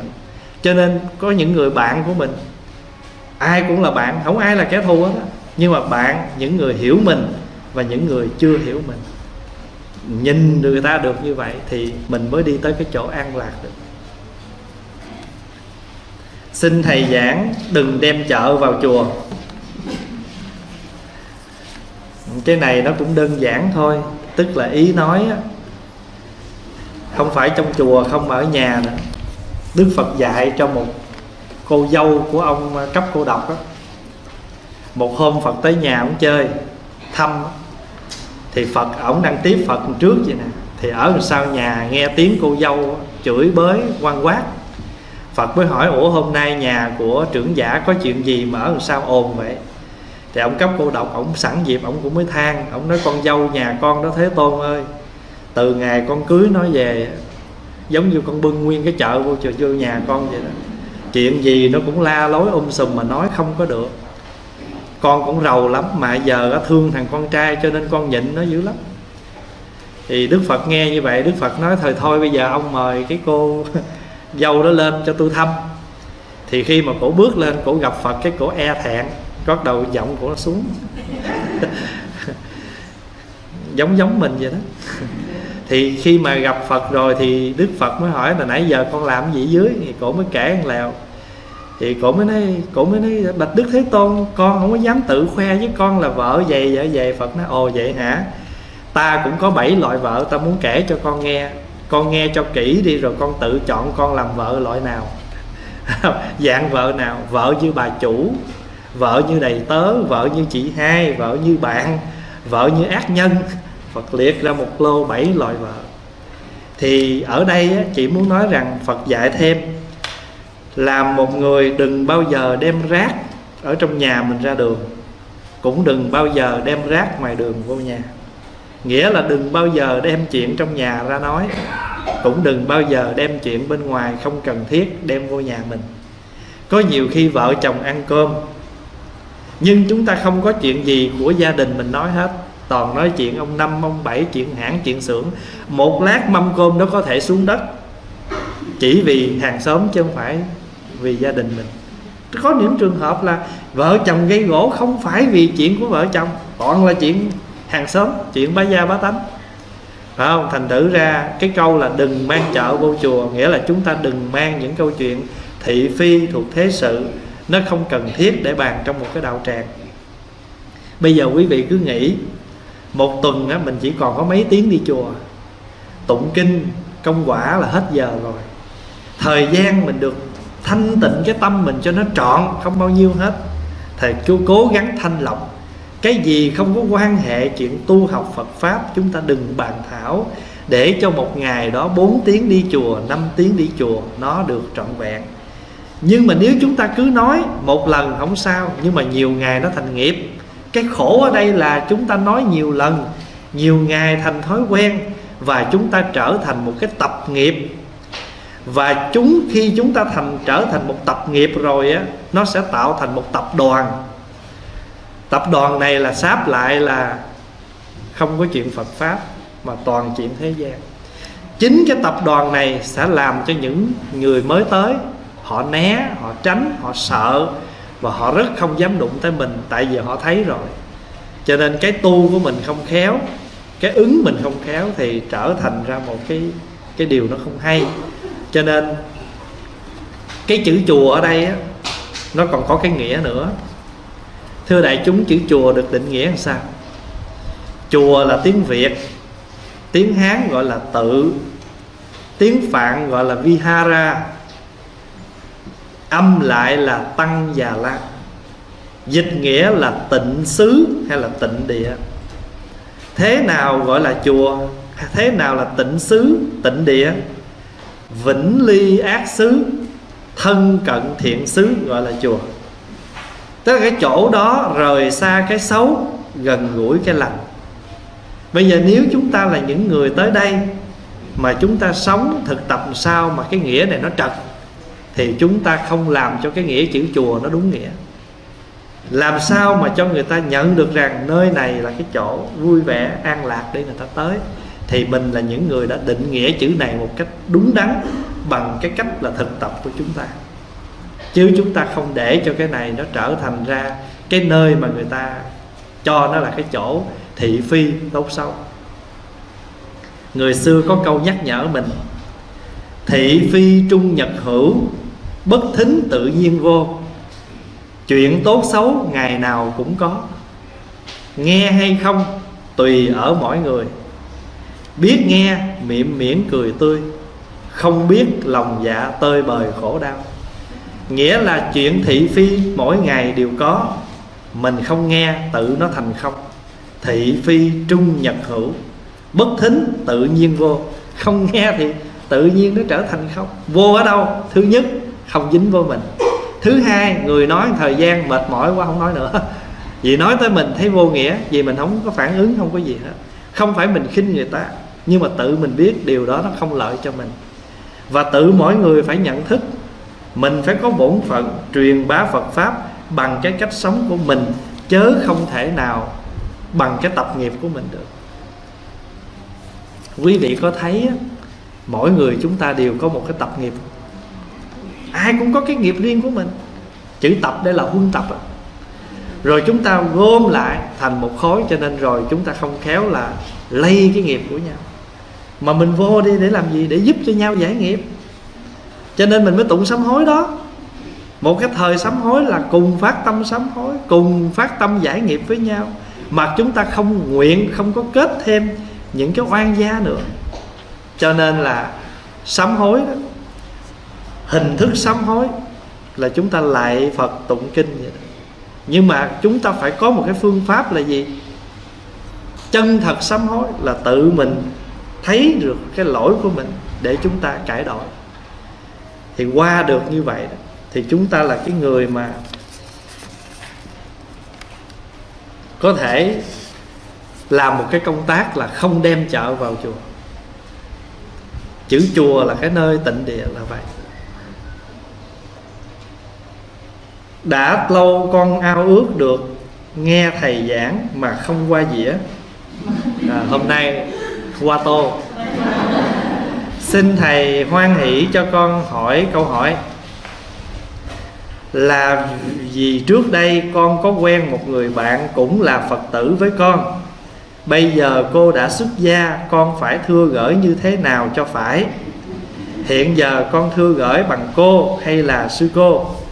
Và sao là có người gọi? Cô là con này không thể tu được. Vì nó yếu lắm. Ý hỏi là hồi xưa mình làm bạn với nhau, rồi bây giờ cái vị đó đi tu, đi xuất gia rồi, thì làm sao mình có thể mình mình gọi cái vị đó bằng cái gì cho nó đúng? Thưa đại chúng, dù ngày xưa mình với người đó là bạn thân, thậm chí gọi thân nhất là mày với tao, nhưng một khi người đó đã đi tu rồi, thì mình gọi cho đúng cái gọi này không phải là mình chịu lép, không phải là mình gọi như vậy người đó tổn phước. Dạ thưa, không phải. Mình gọi đúng cái chức của cái vị đó. Phong vào ví dụ, cách đây gần 6 7 tháng, chúng ta gọi ông tổng thống Mỹ là Mr. Trump. Nhưng sau khi ông đắc cử tổng thống bây giờ mình đi đâu gặp ông là Mr. President. Như vậy không phải mình lòn cuối ổng, nhưng mà mình gọi đúng cái chức vụ của ông. Tại làm sao khi mình gặp một ông bác sĩ, mình dạ thưa bác sĩ, đâu phải mình mình sợ phục gì ổng mà, vì mình gọi đúng cái chức của ông là một ông bác sĩ. Bước vô phòng mạch, làm nha dạ chào nha sĩ. Gặp cô kia hát dạ chào ca sĩ viết gặp ông, viết nhạc dạ chào nhạc sĩ. Phải không? Như vậy mình gọi tất cả những người đúng cái chức phận của họ. Thì một cái người xuất gia mình gọi đúng cái chức phận của họ thì có gì là sai? Thí dụ, có nhiều người sẽ đặt vấn đề là tôi ớn hơn ổng ổng nhỏ hơn tôi, cô đó nhỏ hơn tôi, tại sao tôi phải gọi? Dạ thưa, có hai lý do. Nếu mình gọi dạ chào thầy tức là mình gọi đúng cái nghĩa, cái chức của ông đó. Ông bây giờ là ông thầy. Mà thầy này là gì? Thầy tu. Ông là thầy tu chứ thầy thu, ông lẽ kêu thu tấy. Thầy tu, kêu thầy tu. Mình gọi đúng thầy tu thôi. Đó là cái nghĩa thứ nhất. Vị đó là sư cô, mình gọi là sư cô. Mình gọi đúng cái chức. Bây giờ quý vị nghĩ, nhạc sĩ mình gọi được, ca sĩ mình gọi được, bác sĩ mình gọi được không? Thậm chí mình gọi được tất cả mọi cái chức phận của người ta trên thế gian này. Mà cái người xuất gia mình gọi không được, mà mình còn đem cái tâm phân biệt. Có nhiều ông bác sĩ hai chục tuổi 25 tuổi, ba chục tuổi, mình, bà đáng bà nội mình vô dạ chào bác sĩ. Bác sĩ ơi, cứu tôi. Vậy tại sao một cái vị này còn trẻ, hai mươi mấy tuổi, ba chục tuổi, mình không để gọi là thầy được? Gọi đó là gọi đúng cái chức của ổng. Đó là cái nghĩa thứ nhất cái thứ hai, khi mình gọi như vậy, có nghĩa là mình đang trợ duyên cho cái người đó tu đến nơi đến chốn. Ông đừng có quên nha, bây giờ ông là một thầy tu đó. Tôi gọi như vậy nghĩa là ông còn tu đó. Thì tự ông gò gẫm, ông tu như thế nào để xứng đáng được cái hiệu, cái chức mà người ta gọi như vậy. Tạm gọi cái chức, chứ còn tu không có chức gì để gọi cả. Nhưng mà trong cuộc sống mà chúng ta phải có chứ bây giờ quý vị nghĩ mình vô chùa, gặp à, cô thư ký dạ chào cô thư ký. Gặp anh kia dạ chào anh bảy, anh năm. Thì bây giờ người ta tu rồi thì người ta cũng có cái hiệu của người tu. Thì mình gọi, thầy, cô là chuyện bình thường. Đừng có ngại rằng cái gì bây giờ kêu kêu tôi bằng sư cô, họ à, kêu tôi bằng thầy, hồi xưa nhậu với tôi mà. Con người mà hồi năm trước nhậu với mình đó, chết rồi. Con người đã chết rồi bây giờ đang đứng trước mặt là mình là một con người sống, một con người tu. Thưa đại chúng, con người mình nó có hai loại chết. Hôm nào mình nhắm mắt, mình ngây đơ mà chết á, cái đó gọi là nhất kỳ sanh tử. Chết đó ai cũng sẽ một lần chết. Nhưng mà có những cái chết trong cuộc đời này gọi là gì? Gọi là bất tư nghì biến dịch sanh tử. Nghĩa là con người đó ngày trước rất dở, rất xấu nhưng hôm nay người đó đã bỏ hết cái tánh xấu, cái tật sống đó rồi. Bây giờ người này là một con người tốt. Vậy thì cái cái tội, cái lỗi của người đó đó chết rồi. Con người mà hư đó chết rồi. Một con người đang sống đây là một con người phục thiện, con người làm lành. Chúng ta cần phải chết cái loại đó trong cuộc sống hàng ngày của mình. Nhiều khi mình dở quá, giờ phát tâm rồi, hướng thiện rồi, không bao giờ. Quý vị nhớ có một thiền sư ngài viết sách. Mà ngày trước cái ngài viết sách theo cái cái thời đó. Ngài đi theo những cái thời đại có những cái sự đòi hỏi đấu tranh vân vân. Sau này người đó gặp lại ông có phải là tác giả của quyển sách đó của 30 năm trước không? Thì vị nó nói ô ông đó hả? Chết rồi. Còn bây giờ đang trước, đứng trước mặt ông là một người khác. Hồi trước đứng trên cái bình diện một người đời thế đấu tranh gì đó, tôi biết. Nhưng bây giờ tôi là một người tu tôi đứng ông trước mặt ông là một người tu cho nên đó mình gặp một cái người xuất gia, có thể là bạn bè với mình hay ai đó mà mình quen biết, thậm chí con cháu trong nhà. Nhưng mà bây giờ họ đã đi tu rồi, thì chúng ta phải gọi đúng cái cái cái cái địa vị, cái cái chức vụ của cái người đó để hầu bảo vệ cái sự tu cho người đó ví dụ như cái thầy đó thầy tu nhưng mà thầy về nhà thăm mẹ thầy. Mẹ thầy vẫn nói thầy thầy ăn cơm chưa? Chú nói ê à, thằng thằng hai thằng ba gì vô tao biểu coi. Không có nói nữa. Mình gọi như vậy để luôn luôn nhắc nhở người tu này sống đúng với cái cái vai trò mà vị đó đang giữ là một thầy tu. Chờ Pháp Hòa nhớ hồi xưa ngày Mã Tổ Mã Tổ Ngài đi về làng sớm của Ngài thì trong làng Ngài vừa bước tới làng thôi Cả sớm chạy nhau. Ê chạy ra coi cái thằng con nhà họ Mã nó mới về kìa. Thằng con nhà họ Mã nó mới về kìa. Từ đó về sau Ngài làm một cái bài kệ. Gọi là người tu không trở về quê hương. À, Mà để cho Tại vì người ta không biết người ta gọi như vậy. Phải không? Và nhiều khi chúng ta dĩ, dĩ nhiên chúng ta không có giận hờn gì cả. Nhưng mà ở đây mình là một phật tử thì chúng ta phải hiểu rằng ai đó chúng ta phải gọi cho đúng. Thậm chí các vị xuất gia đó quý vị cũng phải gọi cho đúng tên đúng chữ. Phóng vào ví dụ cái cô ca sĩ đó đó à, cái ông à, nhà thơ đó ổng tên ông ba chữ. Mình gọi đúng ba chữ nha. Nhà thơ vũ hoàng chương. Chứ không bao giờ mình nói nhà thơ chương. Ai hiểu chương gì? Nhà thơ vũ hoàng chương. Rồi à, nhạc sĩ à, trịnh công sơn chứ không ai gọi là nhạc sĩ sơn. Vậy mà bây giờ mấy thầy mình mình kêu tắt không à? Lên à, đưa cho thầy sơn thầy năm thầy hiền thầy đó. Nhạc sĩ mình gọi đủ chữ ca sĩ mình gọi đủ chữ mà các vị xuất gia mình phải gọi đúng hầu gì? Hầu bảo đảm đúng cái cái cái cái vai trò để cho, giúp cho cái vị đó tu. Cho nên quý vị gặp một thầy trẻ mà, bạch thầy, xứng con không phải là mình mình không muốn cũng không sao. Quý vị có thể nói, thầy tôi cũng không sao hết á, người tu không có gì trở ngại. Nhưng mà ở đây mà chỉ giải thích, mình nói như vậy để cho tự người đó phải thúc liễm phải tàm quý, phải xấu hổ. Trời ơi, bữa nay quý bác gọi mình vậy, thôi phải ráng tu cho nó vững chãi để đúng với cái cái xưng gọi của người ta. Có cái bà vô ngồi thiền chung vậy nè. Thì có chú tiểu, chú ngồi thiền. Mà hễ mà trong đầu chú khởi gì á, là ngày sau bà đó bà biết. Thì có cái bữa đó chú thèm ăn bánh bông lan. Sáng hôm sau bà làm bánh bông lan bà đưa. Chú này nó trời ơi, đêm hôm mình ngồi mình khởi tâm mình thèm bánh bông lan bữa nay bà già này bà đem bánh bông lan vô. Chắc chắc không sao đâu, cái này chắc tình cờ. Ba, bốn bữa sau ông thèm món khác. Ông nói thèm ăn bánh xèo. Trong bụng khi ngồi thiền thèm. Bà cụ đổ bánh xèo đem vô.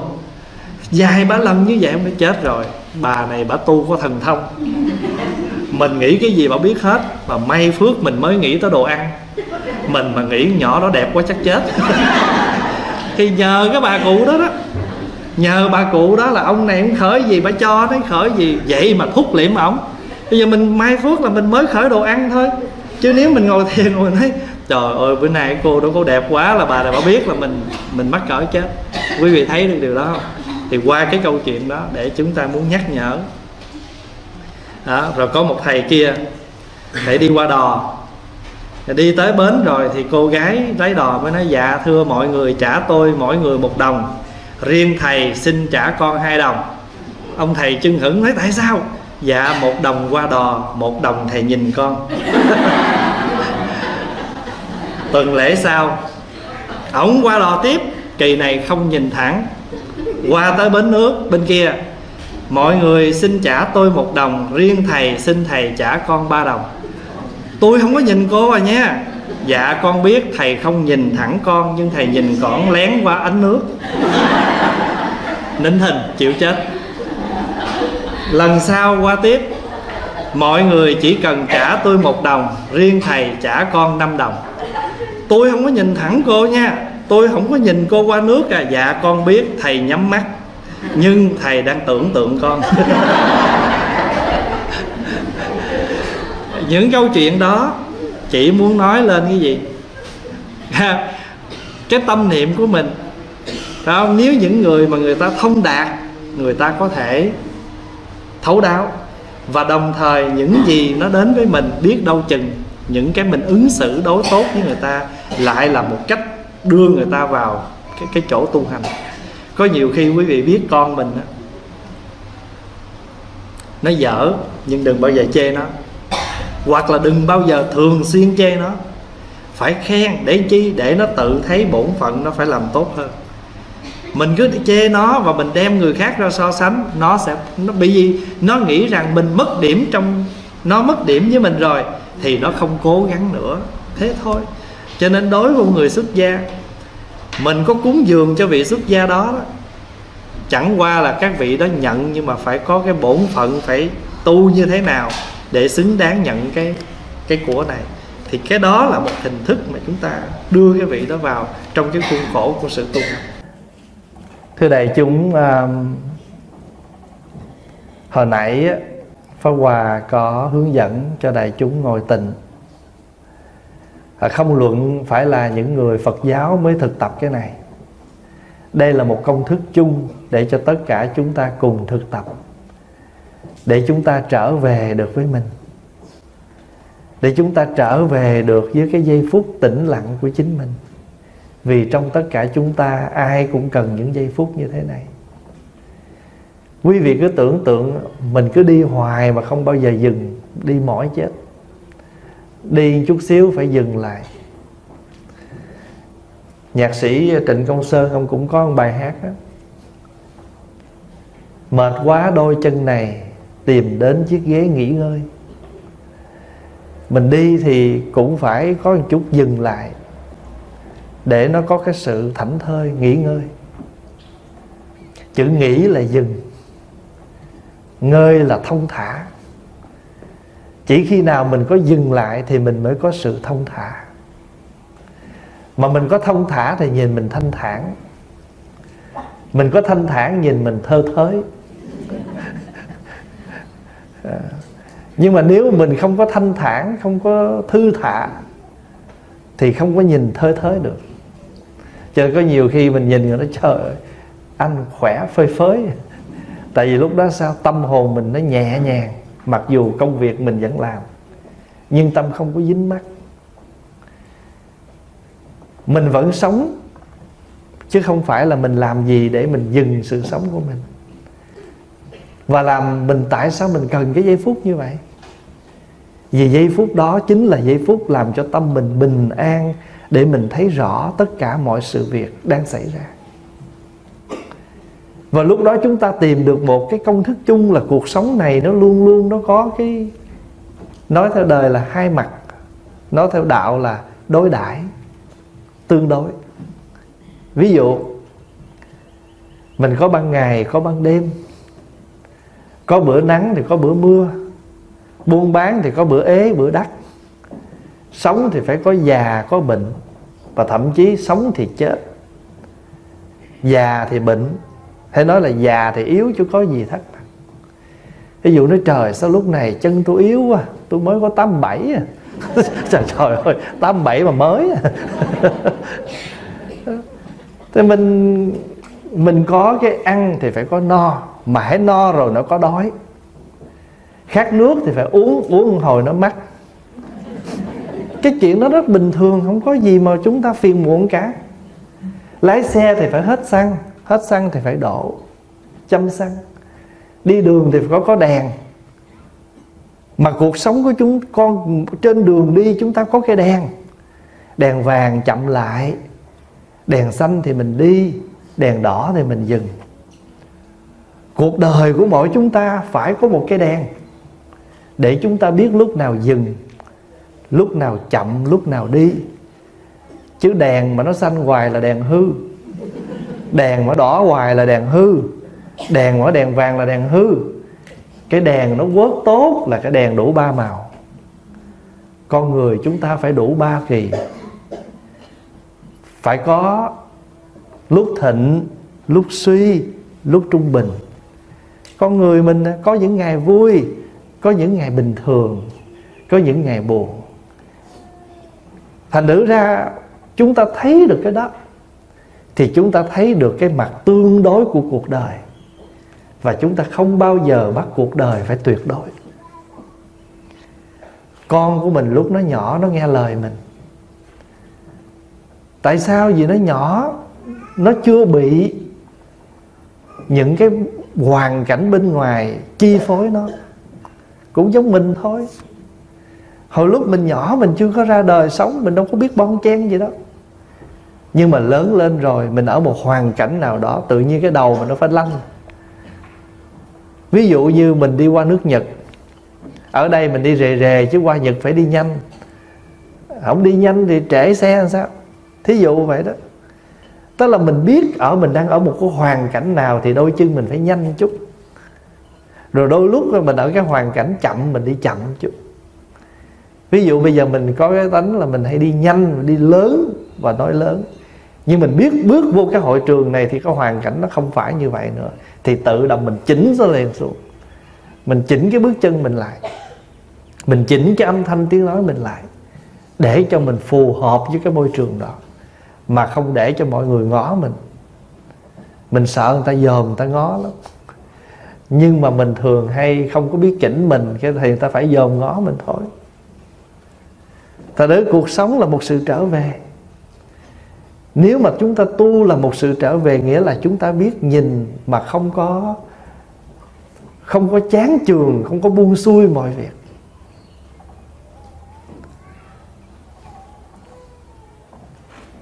Có nhiều người người ta tin vào một đấng thần quyền nào đó, thì người ta sẽ trách. Tôi ở đâu có ác đâu mà ông trời ông cho tôi khổ tôi nghĩ gia đình tôi từ nhỏ tới lớn, gia đình tôi tốt quá mà tại sao ông trời ông lại bắt gia đình tôi khổ? Thật sự ra đó là cái đức tin có ông nào ở trên chỉ định. Nhưng mà nếu thật sự mà có cái ông đó thì ông đó không công bằng. Tại sao người đẹp, người xấu, người giàu, người nghèo, người thông minh, người tối tăm? Thành thử ra, ai mà tin cái đó thì ta trách trời còn nếu mà người ta chán trường thời cuộc thì ta nghĩ rằng sao thôi? Ở cõi này chán lắm. Có một cõi nào vui hơn? Cho nên họ về nhà, họ giết hết cả gia đình họ, rồi họ tự vận luôn. Quý vị đọc báo thỉnh thoảng, quý vị có nghe những câu chuyện đó. Vì họ ghét, chán ghét cuộc đời này. Và có những người khi mà họ chán chường cuộc đời này do một ai đó làm khổ họ họ ghét tất cả con người xung quanh thì họ sẽ hành hung như mới vừa đây ở mỹ có một vụ xảy ra, giết người, bắn người. Cho nên trong cuộc sống, có những người tà kiến. Những người tà kiến thì họ đem những cái những cái, họ tin vào những cái thần quyền nào đó cho nên mỗi người người ta có một cái nhìn về cuộc sống cái ta tiêu cực. Cái thì họ đẩy cuộc đời họ cũng như những người thân họ đi vào con đường tiêu cực. Nhưng mà với cái người chúng ta có tu tập tu tập là gì? Nghĩa là chúng ta có sự tĩnh lặng sáng biết quán chiếu để chúng ta thấy mọi vấn đề. À, hôm phó Hòa đến Sydney được ngồi nói chuyện với một bác ông cụ từng đi tù cải tạo. Và khi trong trở về thì ông có những cái nhìn.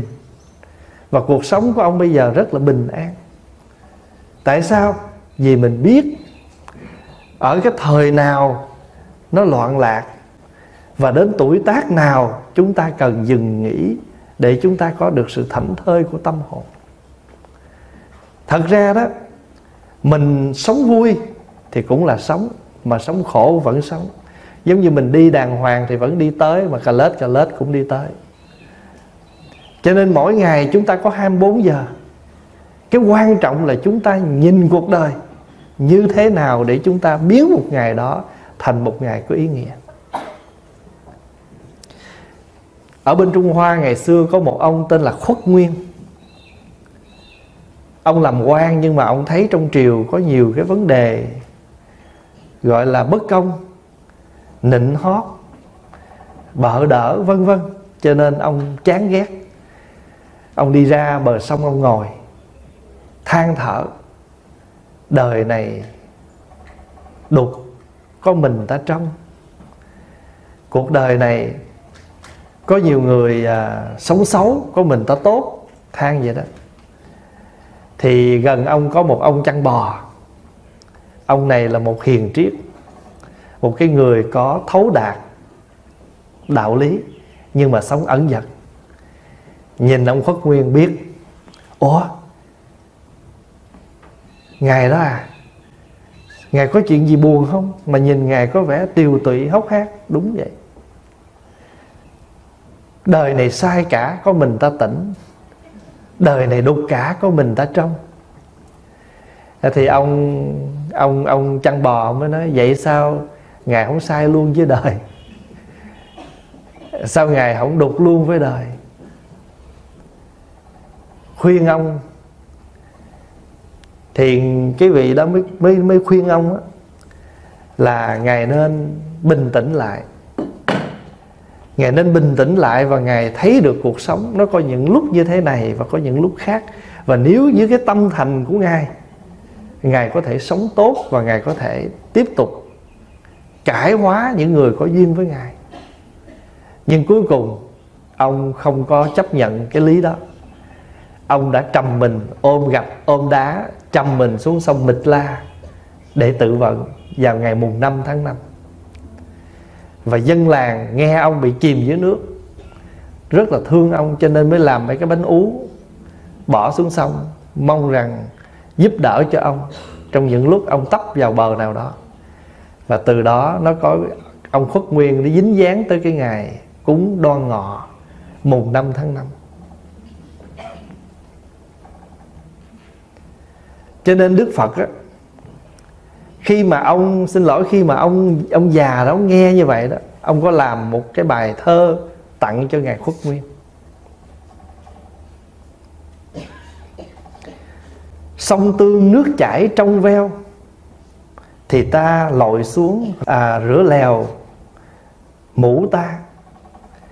Sông tương nước chảy đục ngầu thì ta lội xuống rửa chân của mình. Ý muốn nói là nếu sông nước sông tương mà nó trong á thì mình đi xuống mình rửa mũ mình rửa rửa đầu. Còn nếu như mà nó đục á thì mình rửa chân. Ý muốn nói là có lúc nó đục có lúc nó trong mà hãy khúc nào nó đục thì mình làm việc khác. Cũng giống như mình cầm cái khăn sạch lên. Khăn này sạch nè, lau bàn. Khăn này dơ nè, lau đâu? Lau đất. Tức là mình không phí cái khăn. Nhưng mà mình biết nhận diện cái khăn này nó dơ, nó nó sạch như thế nào để chúng ta dụng nó cho đúng chỗ giống như khi chúng ta bước vào cái chỗ nào đó dơ thì tự động chúng ta lấy nước, chúng ta chùi rửa trước khi chúng ta xài. Cái gì mà nó không có đúng thì chúng ta chỉnh cho nó ngay. Tại vì chúng ta luôn luôn có trái tim, có con mắt, có đôi bàn tay. Và chúng ta có thể cắt ngắn, cắt dài, làm sao đó để mọi việc nó đi vào một cách êm đẹp và quý vị thấy tất cả mọi sự việc ở đây đều là cái gì? Đều là do cái nhận biết tuệ giác của chúng ta mà tạo nên. Tất cả do tâm tạo. Tâm mình muốn nó tốt, nó sẽ tốt. Bước vô cái nhà đó dơ, nhà nó dơ cỡ nào mà nếu chúng ta để tâm dọn dẹp với năng lực, với khối óc, với đôi bàn tay, mình sẽ làm được tất cả. Bằng chứng với năng lực, với khối óc, với đôi bàn chân, mình đi vượt biên. Với năng lực, với khối óc, với đôi bàn tay, mình tạo nên sự nghiệp. Và con cái của mình đã thành công. Bây giờ cuộc sống mình ổn định. Từ đâu? Đâu phải từ ai cho mình, mà từ khối óc, năng lực, đôi bàn tay của mình. Là bởi vì chúng ta biết làm một cái điều như Phật dạy là có những cái cây nó mềm nhưng mà cái vỏ nó cứng. Ở trong mềm mà vỏ cứng. Có những loại cây như thế. Thì Đức Phật nói, có những người rất lành thiện, nhưng xung quanh không lành thiện. Thì chúng ta phải sống như thế nào? Chúng ta biết quyển chuyển tùy duyên. Thí dụ như mình ở một cái đám đông bây giờ người ta bán hai cái miếng ờ, gòn vàng vàng để nhét tay khi ngủ. Nếu mình lỡ mình rơi vào một cái chỗ nào ngủ mà ta ngáy quá, mình ngủ không nổi. Thì ta bán hai cái đó. Rồi bây giờ nó bán thêm luôn cái đồ chụp lỗ tai. Để cho những người nào lên máy bay mà cái tiếng máy bay nó ồn, có những người người ta khó ngủ đó, chụp cái đó vô lỗ tai là yên, ngủ yên. Không nghe bên ngoài nói gì. Pháp Hòa thì không có xài. Tại vì Pháp Hòa còn ngủ được. Nhưng mà nhìn mình nhìn Một vài người ngồi quanh mình, Thỉnh thoảng họ chụp cái lỗ tai đó, Mình tưởng là họ nghe cái gì. Nhưng mà thực chất là cái đó là cái đồ chụp lỗ tai Để giúp cho họ không có cái tiếng ồn nào để dễ ngủ. Nhưng mà khi mình chụp vô cái lỗ tai như vậy rồi á, Nó cũng, ai không quen nó cũng khó chịu lắm. Phải không? Thành thử ra cuộc sống này không có cái gì chúng ta có mà không có một cái gì đó khó chịu nhỏ nhỏ nó kế bên. Cái quan trọng là mình thấy mình muốn cái gì thôi. À tôi muốn ngủ được thì thôi chịu khó để cho nó chụp. Giống như có nhiều người bây giờ ta bệnh à, nó kêu là sleep nap à, sleep napia thiếu oxy trong khi ngủ. Thì họ đeo một cái máy thở trợ lực trợ tim cho họ thở. Nhưng mà nhưng mà chụp vô như vậy rất là khó chịu. Mà phải luyện, phải tập thôi, tập làm quen với nó để mình sống còn. Chứ không thôi có thể mình chết trong giấc ngủ. Hoặc là mình bị tai biến trong giấc ngủ. Vì cái bệnh nó nó nguy hiểm như vậy. Cho nên trong cuộc sống của chúng ta, không có một cái gì mà chúng ta tự nhiên nhẹ nhàng, dễ chịu mà chúng ta không có sự chịu khó trong đó. Tại vì sao? Nó vốn là khó chịu nó vốn là khó chịu, mà cái chúng ta cần là gì? Chịu khó. Quý vị biết nhiều khi Pháp Hòa đi máy bay, mình ngồi ở khoảng giữa hai người, họ, cái size họ lớn hơn mình. Mà đâu phải dễ dàng, ngồi là phải cong mình co mình vậy, tại người ta ngồi xuống là đã lớn qua bên mình rồi. Thôi thì bây giờ sao? Đâu còn chỗ nào mà đây là cái chỗ đã quy định thì mình cũng phải chịu khó ngồi thôi. Nhiều khi phải quán. Phải quán là như thế nào? Không có sao đâu, cái khó nó chỉ vài giờ. Trong cuộc đời có những cái khó mà mình phải chịu suốt kiếp. Nhưng mà có những cái việc mình phải chịu khó suốt kiếp nhưng mà bỏ không có được. Thì chúng ta phải làm thôi. Cho nhờ chúng ta quán như vậy chúng ta thấy được những cái cuộc đời nó tương đối. À tôi cũng chịu khó nhưng mà chỉ có 4 tiếng bay. Còn hơn là suốt đời. Thì trong 4 giờ đó ngồi thảnh thơi. Còn không là 4 giờ ngồi khó chịu. Có một lần Pháp Hòa dạy một em nhỏ quán á. Nó, nó, nó, nó không thích đi chùa với má nó đi cả ngày nó mệt. Mà má nó ở xa lắm. Đi mà mỗi một lần đi tới chùa là phải mười mấy tiếng. Pháp Hòa mới nói mẹ con á đi với con rất là nhiều lần. Lâu lâu con mới đi với mẹ một lần. Thì thôi giờ mẹ chùa mẹ làm việc gì mẹ vui thì con cũng thoải mái con chơi con nói con đi vòng vòng con chơi con ờ, bắn game thí dụ vậy. Và con cứ nghĩ á, giống như con đi về Việt Nam con ngồi trên chiếc máy bay suốt mười mấy giờ đồng hồ. Đó bây giờ con nghĩ con ở đây giống như ngồi trên máy bay vậy đó con đi đâu được? Thì cái quan trọng là con tập, con thích ứng với cái hoàn cảnh. Và đây cũng là một bài tập cho mình. Quý vị cứ tưởng cuộc đời này mà cứ hệ khó khó dục thì không khó làm gì xong hết. Dù một chuyện rất nhỏ như nấu ăn, như làm việc nhà. Không có việc gì chúng ta làm mà ngay cái bữa đầu là chúng ta làm thành rất ít. Đa phần là phải chịu khó nhiều lần để sự việc nó mới có thể thành được quý vị biết có những cái công ty người ta làm thức ăn chỉ có một món bánh đó thôi mà có thể người ta phải thử 800 lần. Để món bánh đó nó được hoàn hảo và đem nộp cho cái sở vệ sinh, người ta thí nghiệm những cái món ăn đó. Trước khi đưa ra bên ngoài bán cho thị trường, người ta phải phân tích trong này có bao nhiêu độ đường, bao nhiêu độ muối và cái calorie của nó là bao nhiêu để người ta ghi rõ ràng trong một cái tờ giấy, thành một cái tờ giấy đó để mỗi món ăn đó được đem ra thị trường bán thì phải dán món ăn đó lên. Để cho mọi người người ta nhìn cái món ăn đó, người ta liệu sức người ta có ăn được cái này hay không mà người ta mua cái món đó. Chứ không có một cái gì mà nó có thể thành tựu được. Cho nên trong cuộc sống của chúng ta, có thể hoàn cảnh nó không như ý mình nhưng chúng ta là một cái lõi cây mềm, thì chúng ta có thể mềm mỏng để chúng ta đi tới. Cho nên quý vị thấy có nhiều em nhỏ đó, nó bị ảnh hưởng thế giới bên ngoài. Cái điều đó không thể tránh. Ngay cả mình còn bị mà. Ngay cả mình còn bị. Ví dụ như bây giờ mình nói là, thôi tôi ờ, lâu lâu thôi giờ quần áo đủ rồi nha tôi không mua sắm gì nữa đâu. Nhà mình đi ngang shopping mà nó rẻ mà nó đẹp có mua không? Một cái chuyện đâu có tội lỗi gì, nhưng mà từ đó mình mới thấy. Nhiều khi mình dọn dẹp nhà cửa, thấy giày của mình nhiều quá, thôi, nhiều quá, chật đủ rồi nha, không mua nữa nha. Mà bữa nào mà đi ngang một cái tiệm ở bán giày cũng ghé vô thử một cái. Thử ướm cái chân mình vô một cái đi lui đẹp không? Đẹp không? Coi được quá ha. À, giá cũng được á. Thế nào? Mười chín lần từ nó thế nào cũng lần bị dính câu. Cho quý vị biết á, những cái chợ người ta bán ăn á đây là Pháp Hòa nói theo cái cách làm ăn của người Mỹ. Trong cái chợ của người Mỹ á, Mỗi ngày họ phải lỗ một món. Thí dụ như bữa nay họ lỗ món bánh đó Họ bán lỗ đó nhưng mà họ chỉ lỗ một món đó thôi. Rồi họ mới đăng báo là hôm nay bán cái món đó sao? Thì thiên hạ ung ung đi mua cái bánh đó nhưng mà ít khi nào người nào vô chợ chỉ mua cái bánh đó đi ra lắm. Họ phải mua năm bảy món nữa.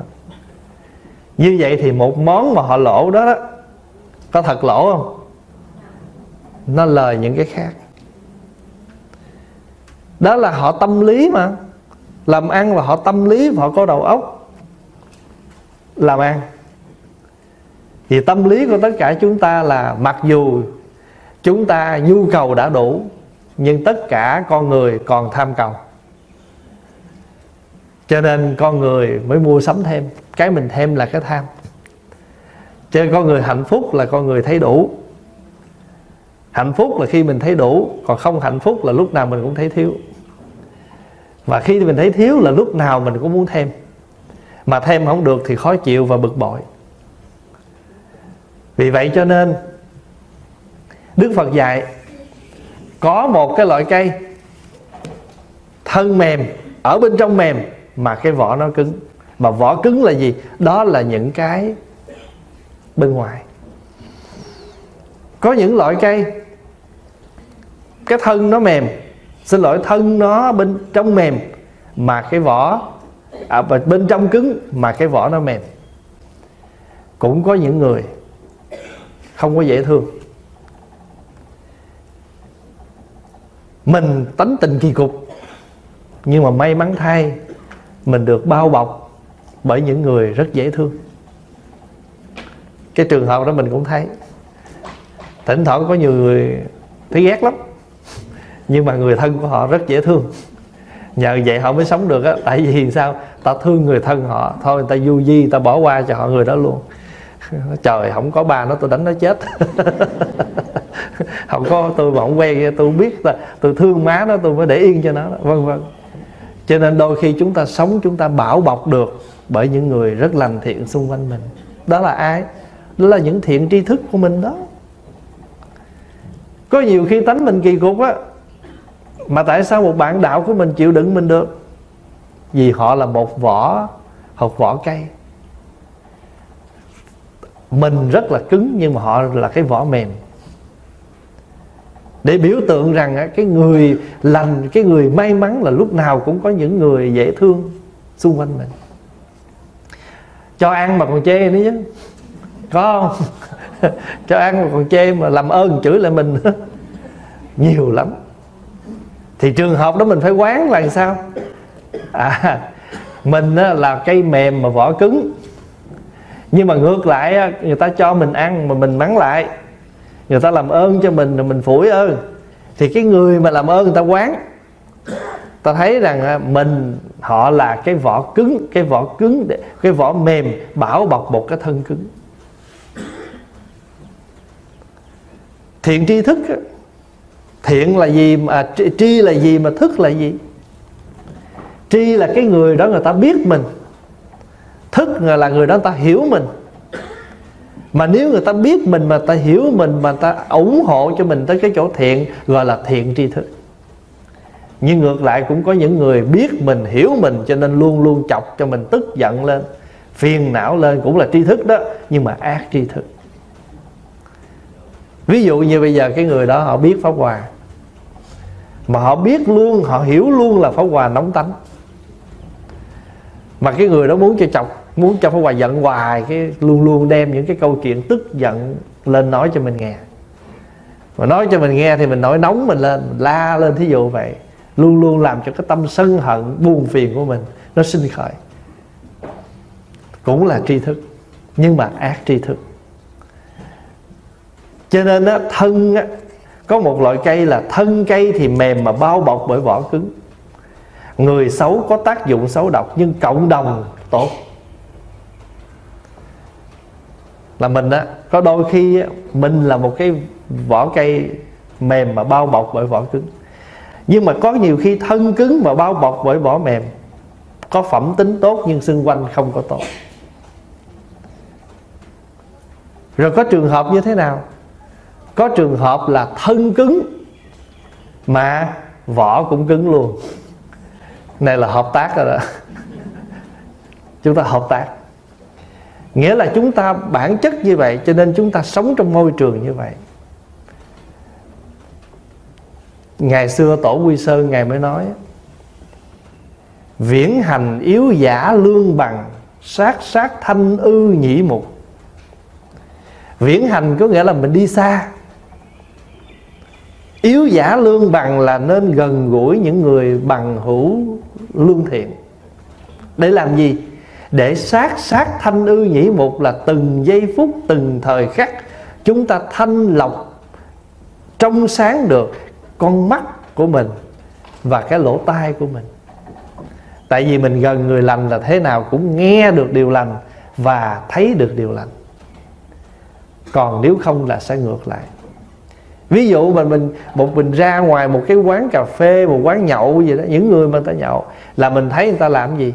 Miệng thì hút thuốc tay thì cầm điếu thuốc. Ôi, xin lỗi, miệng thì uống rượu, cộng thêm cái tay cầm điếu thuốc và nói chuyện với nhau thì mở miệng câu nào ra nó cũng là gì? Toàn là những lời chửi bới, chửi bậy. Thành thử ra mình gần mình gần cái môi trường nào thì ít nhiều mình ảnh hưởng. Ngày xưa có một bà cụ đó, bà đem con của bà đi học. Thì bà mang tới một cái làng đó, thì cái làng đó chuyên môn làm đám tang cho người chết. Thì con bà nó tối ngày về nó cứ làm đậu tỳ. Nó cứ giả làm đậu tỳ, nó khiêng người này, nó vác người kia đi chôn vậy. Bà thấy cha có bộ lớn lên, có cơ hội làm đậu tỳ thế bà mới dọn qua một cái làng khác, thì cái làng này chuyên môn là đánh cá, chài cá. Thì cái làng đó chài cá thì nói chuyện rồi đời sống không được. Cuối cùng bà dẫn qua một cái làng khác, thì cái làng này dân chúng, mọi người trong đó lo ăn học. Thì con bà giờ ai cũng lo học hết, thì nó muốn chơi với ai? Nó cũng phải đi học theo thôi. Cho nên rồi nó trở thành một cái người học giả trong tương lai sau này cho nên nhiều khi với cha mẹ mình đi tìm cái môi trường tốt cho con là vậy thôi. Ở đây Pháp Hòa thấy là cha mẹ lúc nào cũng tạo à, cuối tuần là phải chở nó đi học võ học đàn học đủ thứ hết. Để làm chi? Để nó đừng có những thì giờ nó nó nó phí cho cái chuyện khác. Và luôn luôn mang nó ra khỏi môi trường.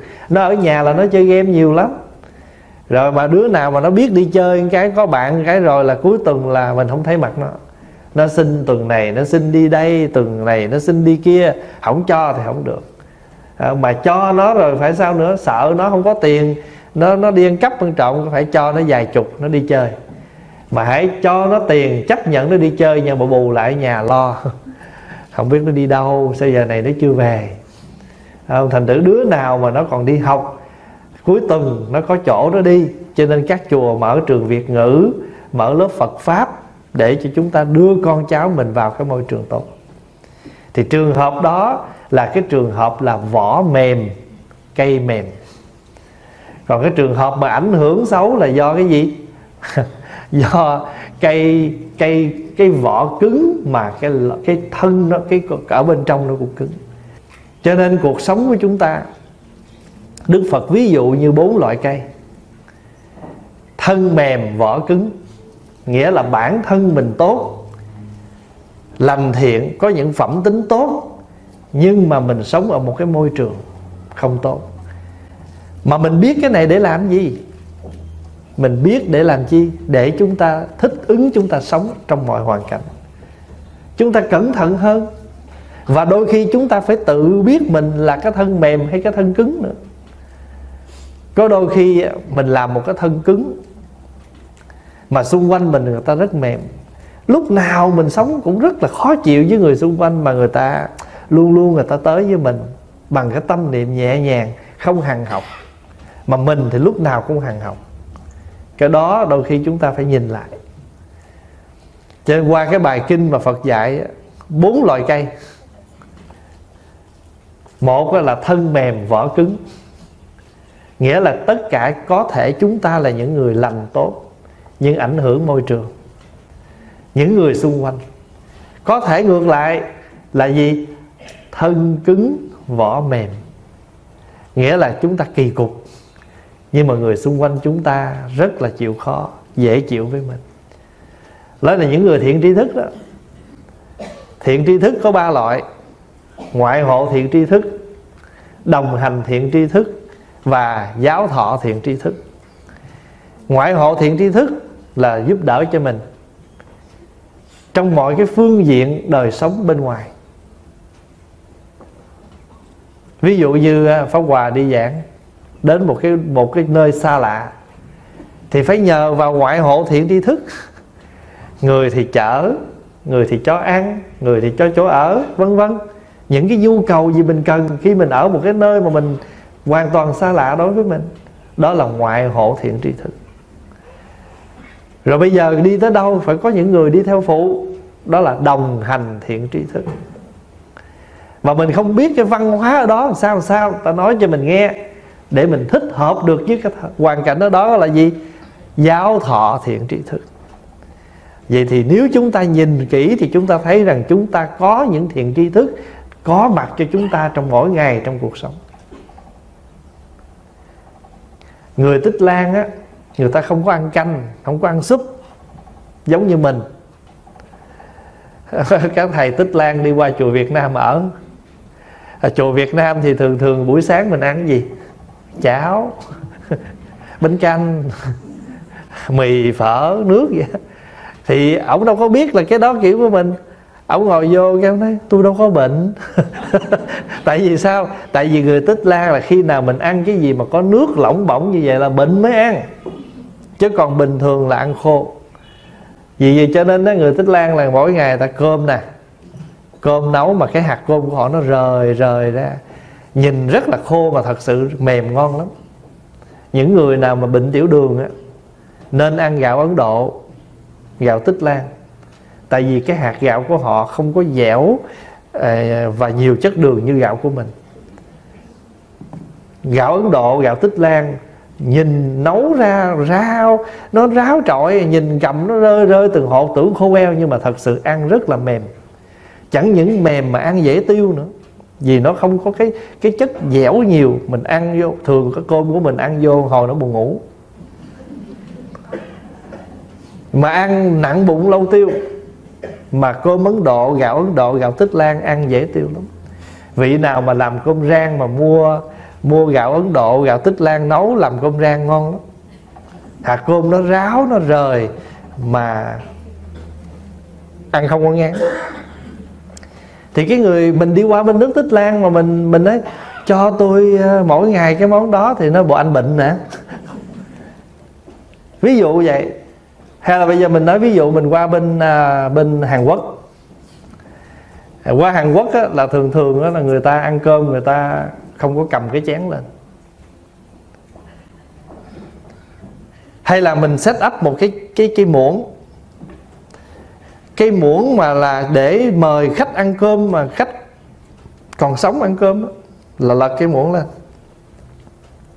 Nhưng mà cái kiểu dọn cơm của mình là sao? Úp cái muỗng xuống tại vì mình quan niệm là bụi. Cho nên phải úp cái muỗng xuống để không có bụi. Nhưng mà người Hàn Quốc á khi nào mình mời khách ăn cơm là phải lật cái muỗng lên, còn úp cái muỗng xuống là để cúng cúng cho người chết. Mình không biết cái phong tục đó.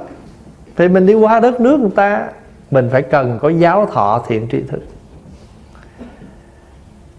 Trong cuộc sống này chúng ta cần những bậc giáo thọ thiện tri thức, chứ đừng nói cái gì tôi cũng biết. Mình hay nói là tôi biết hết á nhưng mà rốt cuộc là hết biết. Cho nên giáo thọ thiện tri thức, đồng hành thiện tri thức là chúng ta tu mà chúng ta cần có những người bạn. Hay trong cuộc sống của chúng ta cần có những người bạn. Quý vị cứ tưởng tượng đi đâu mà đi một mình, hình như mình không tự tin. Nhất là đi đường xa, kiếm một người bạn đi theo mình. Chị cứ ngồi với tôi thôi, tôi lái. Nhưng mà anh chị ngồi để tôi yên tâm đó là cái tâm lý. Thì từ cái đó mình mới suy ra rằng trong cuộc sống chúng ta chúng ta cần có một người bạn. Ăn cơm có canh, tu hành có bạn. Nếu chúng ta không cần người bạn thì tại sao lớn lên chúng ta có khuynh hướng tìm vợ, tìm chồng? Mà mình đi tìm cái gì? Người bạn đời. Người bạn đời để làm gì? Để chia sẻ. Tiếng mỹ kêu là match nó looking for a match. Hai người cho nó tương xứng. Mà đâu phải chỉ tương xứng ở cái gì.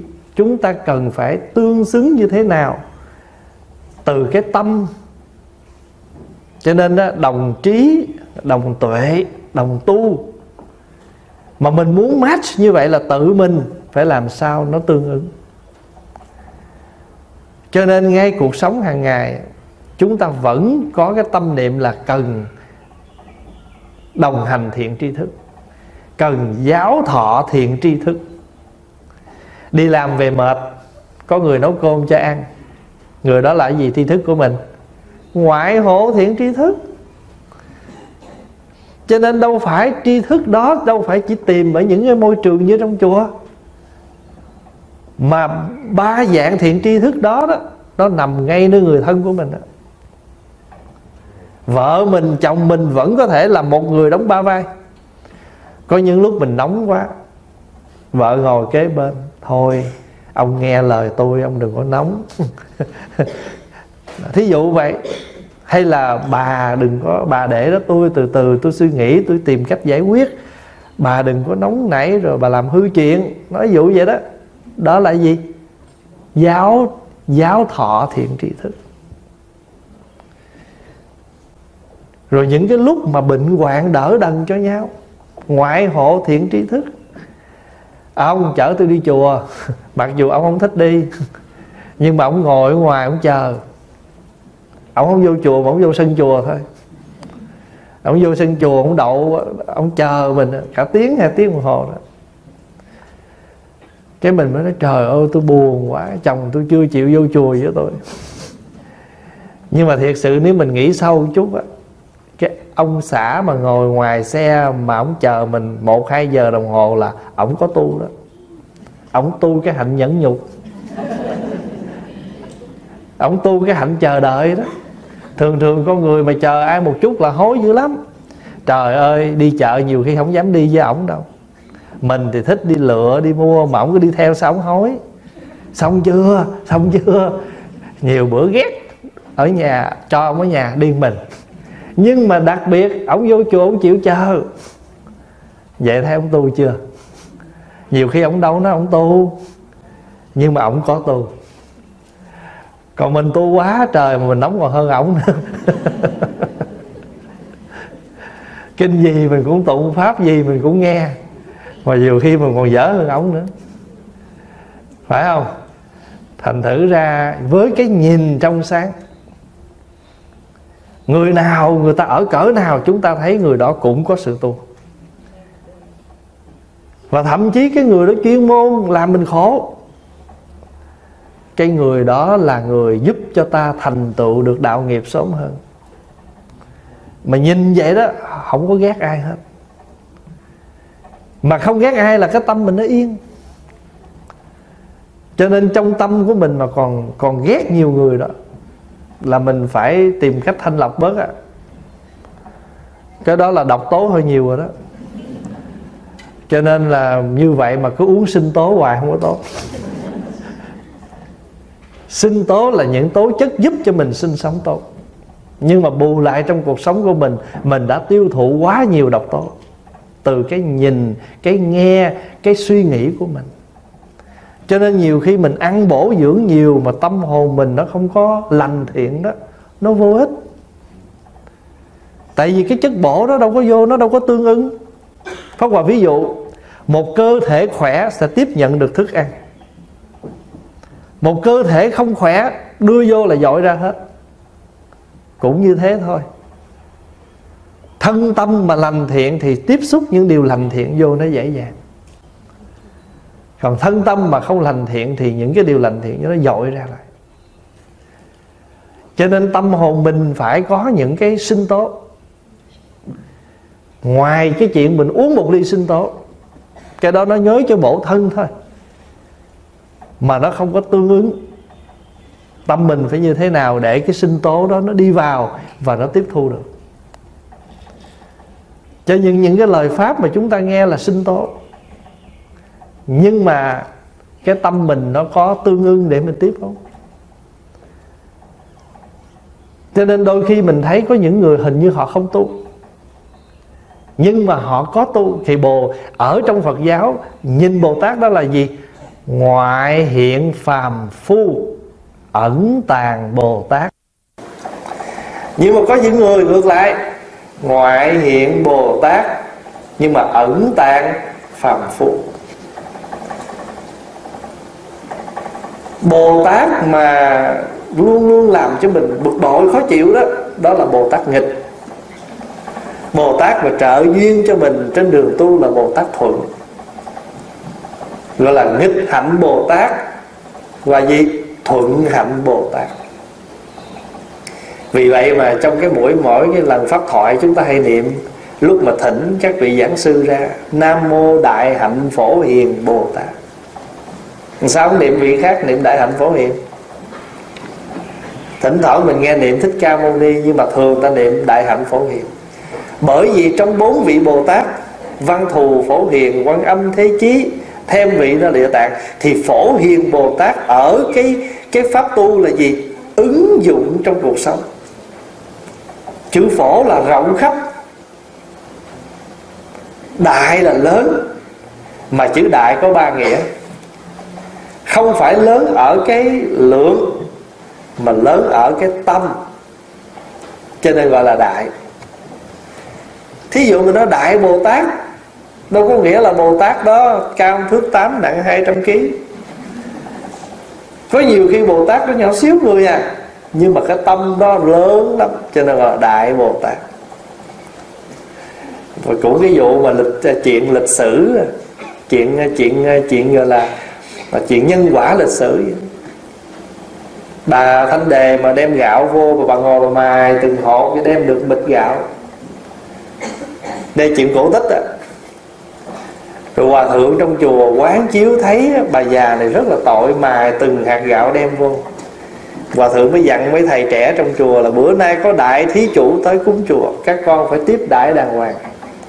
Trời ơi, mấy thầy trà ba số ba chín một ba vậy pha. Bánh khúc kỳ gì ngon ngon chuẩn bị sẵn. Ai ngờ đâu lát bà già vô đem có bao gạo nửa ký. Cái mấy thầy sanh tâm sao? Vị bị nghĩ đại là gì? Lô bà này là phải ờ, mặt mặc đầm mặc cũng vậy ha à, rồi đi xa hơi xịn rồi vô là gặp quý thầy cái là xá mô phật là bao lì xì rồi, cho nên quý thầy nghĩ là đại là vậy đó. Tới hồi mà tiếp bà không được chu đáo, bà giận quá. Bà mới đổ gạo xuống, bà trà trên đó, bà vào phỉ bán. Thì ở đây là một câu chuyện cổ tích thôi. Chỉ muốn nhắc nhở rằng chúng ta đừng lầm cái chữ đại là phải những người giàu có và lớn nhiều khi một cái việc làm họ rất nhỏ nhưng mà họ để hết tâm hồn vô đó. Việc làm nó vẫn đại như thường. Có một ví dụ. Một cái đứa nhỏ nhỏ nhỏ xíu à. Nó đi ngang nó thấy mình nằm đó, coi tivi ngủ. Nó đi vô nó lấy cái mền, nó nhẹ nhẹ nó đắp lên cho mình. Giật mình thức dậy. Quý vị vui không? Vui lắm. Và cảm thấy rằng, ở trời ơi, mình nằm đây mình lạnh nãy giờ, mà người lớn đi nguyên nhà ngó thôi chứ không biết gì hết. Mà cái đứa nhỏ nó chỉ mới có hai, ba tuổi mà nó cảm nhận được cái đó, mà nó rất dễ thương mà nó lấy cái mền nó đắp cho mình. Hồi có quà còn mấy chú tiểu nhỏ nhỏ, bây giờ thì lớn hết rồi chiều chủ nhật xong là thầy trò phải tuôn ra dọn dẹp hết. Người thì quét nhà, người lau cầu tiêu, người sắp giày dép, từ pháp quà xuống cho tất cả mọi người trong chùa phải làm hết việc. Nhiều khi năm sáu giờ chiều mà làm tới khuya mới xong việc. Nhiều khi mệt quá cái đi vô phòng với chú nằm, gác cái tay trên trên cái là đầu trên cái tay vậy có cái chú tiểu mà hồi xưa là chút mà thường ngày đó là cái ông tiểu đó là ông chọc cho mình trào máu nhiều nhất. Quý vị biết mà đến mức độ mà sáng nào mà từ sáng giờ học cho đến chiều 3 giờ mà khoảng thời gian đó mà thấy điện thoại nhà trường mà reo là phá hòa hồi hộp rồi đó. Nghĩa là bị mắng vốn á. Mà hầu như tuần lễ 5 ngày học là không phải 4 ngày, bị mắng vốn vậy mà mình nghĩ cái đứa này, trời ơi, đất hỡi gì mà thôi ráng đi. Vậy mà có những buổi chiều chủ nhật phố hòa nằm vậy đó, nó cầm cái gói tới, nó nói, nó để nhẹ nhẹ vậy đó rồi lấy cái mền nó kéo lên. Rồi nó ra dấu biểu mấy đứa chú khác, đừng có nó ồn, nó ra nó đóng cửa nhà. Nó nói, thầy is resting. Mình nằm, mình giật mình mình nghe hết chứ. Nhưng mà cái lúc đó, mình thấy này nó không tiểu nữa. Nó đang đại cho nên cái chữ đại là ở những tâm hồn, chứ không phải ở cái lượng. Cho nên nhà phật hay dùng là đại bồ tát, đại thí chủ, đại phật đảnh thủ lăng nghiêm. Thì cái chữ đại đó là gì? Không phải ở cái bự. Không dĩ nhiên là có, lượng đó nhưng mà tâm và hành cho nên một ông trưởng giả theo như định nghĩa của nhà phật, trưởng giả nó có ba điều để thành trưởng giả. Một là tuổi cao, hai là đức lớn, ba là giàu có. Như vậy thì không phải giàu mà kêu trưởng giả. Trưởng giả mà giàu mà tâm không có, đức không có, mặc dù có thể lớn tuổi có thể là nhà giàu, nhưng mà đức không có, thì cũng chưa gọi là trưởng giả. Và trưởng giả theo định nghĩa của nhà Phật là lớn tuổi, giàu có, nhưng mà hạnh đức phải lớn. Vì có nhiều khi người ta giàu mà ta khinh người khác, cái tự nhiên mình cũng quý họ. Mà người đó họ giàu, bỏ khiêm cung, tự nhiên mình quý họ. Cuộc đời nó vậy thôi, vì mình thấy được cái tâm của họ. Cho nên trong cuộc sống nếu mà chúng ta để tâm một chút thì chúng ta sẽ nhận diện ra rằng có những người đang là những bậc thiện tri thức trong đời mình, mà lâu nay mình chưa nhận ra. Vì sao? Vì mình là cái cái thân cái thân cứng.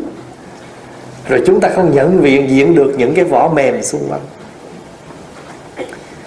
Còn ngược lại á, nếu chúng ta là cái thân mềm mà cái vỏ cứng, thì chúng ta nguyện tập thích ứng tùy thuận mà không có bị ảnh hưởng.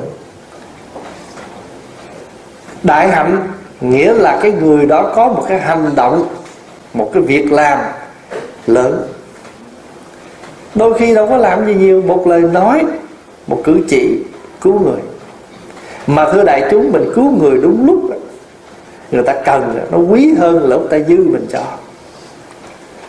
cho nên cho nên đại hạnh phổ hiền là một bậc luôn luôn ứng dụng rộng rãi cái hạnh nguyện của mình bằng mọi cách. Chúng sanh nào có nhu cầu làm gì, vị này vẫn làm, dù việc đó rất nhỏ, thì việc làm đó vẫn gọi là đại hạnh.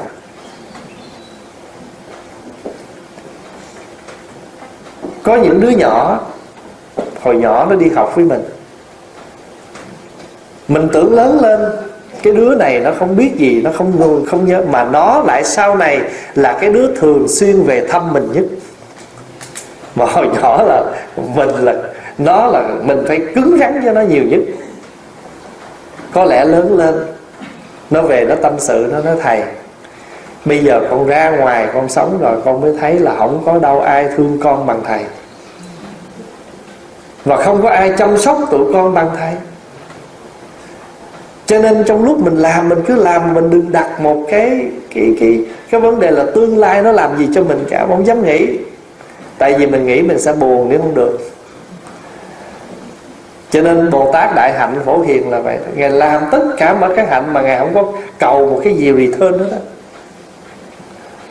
Cho cái câu nói mà dưỡng nhi đãi lão đó. Hồi, hồi xưa mình hay nói câu đó Nuôi con chờ già nó nuôi lại đó. Bây giờ nói theo câu nữa, Dưỡng nhi đại lão nhập dưỡng lão.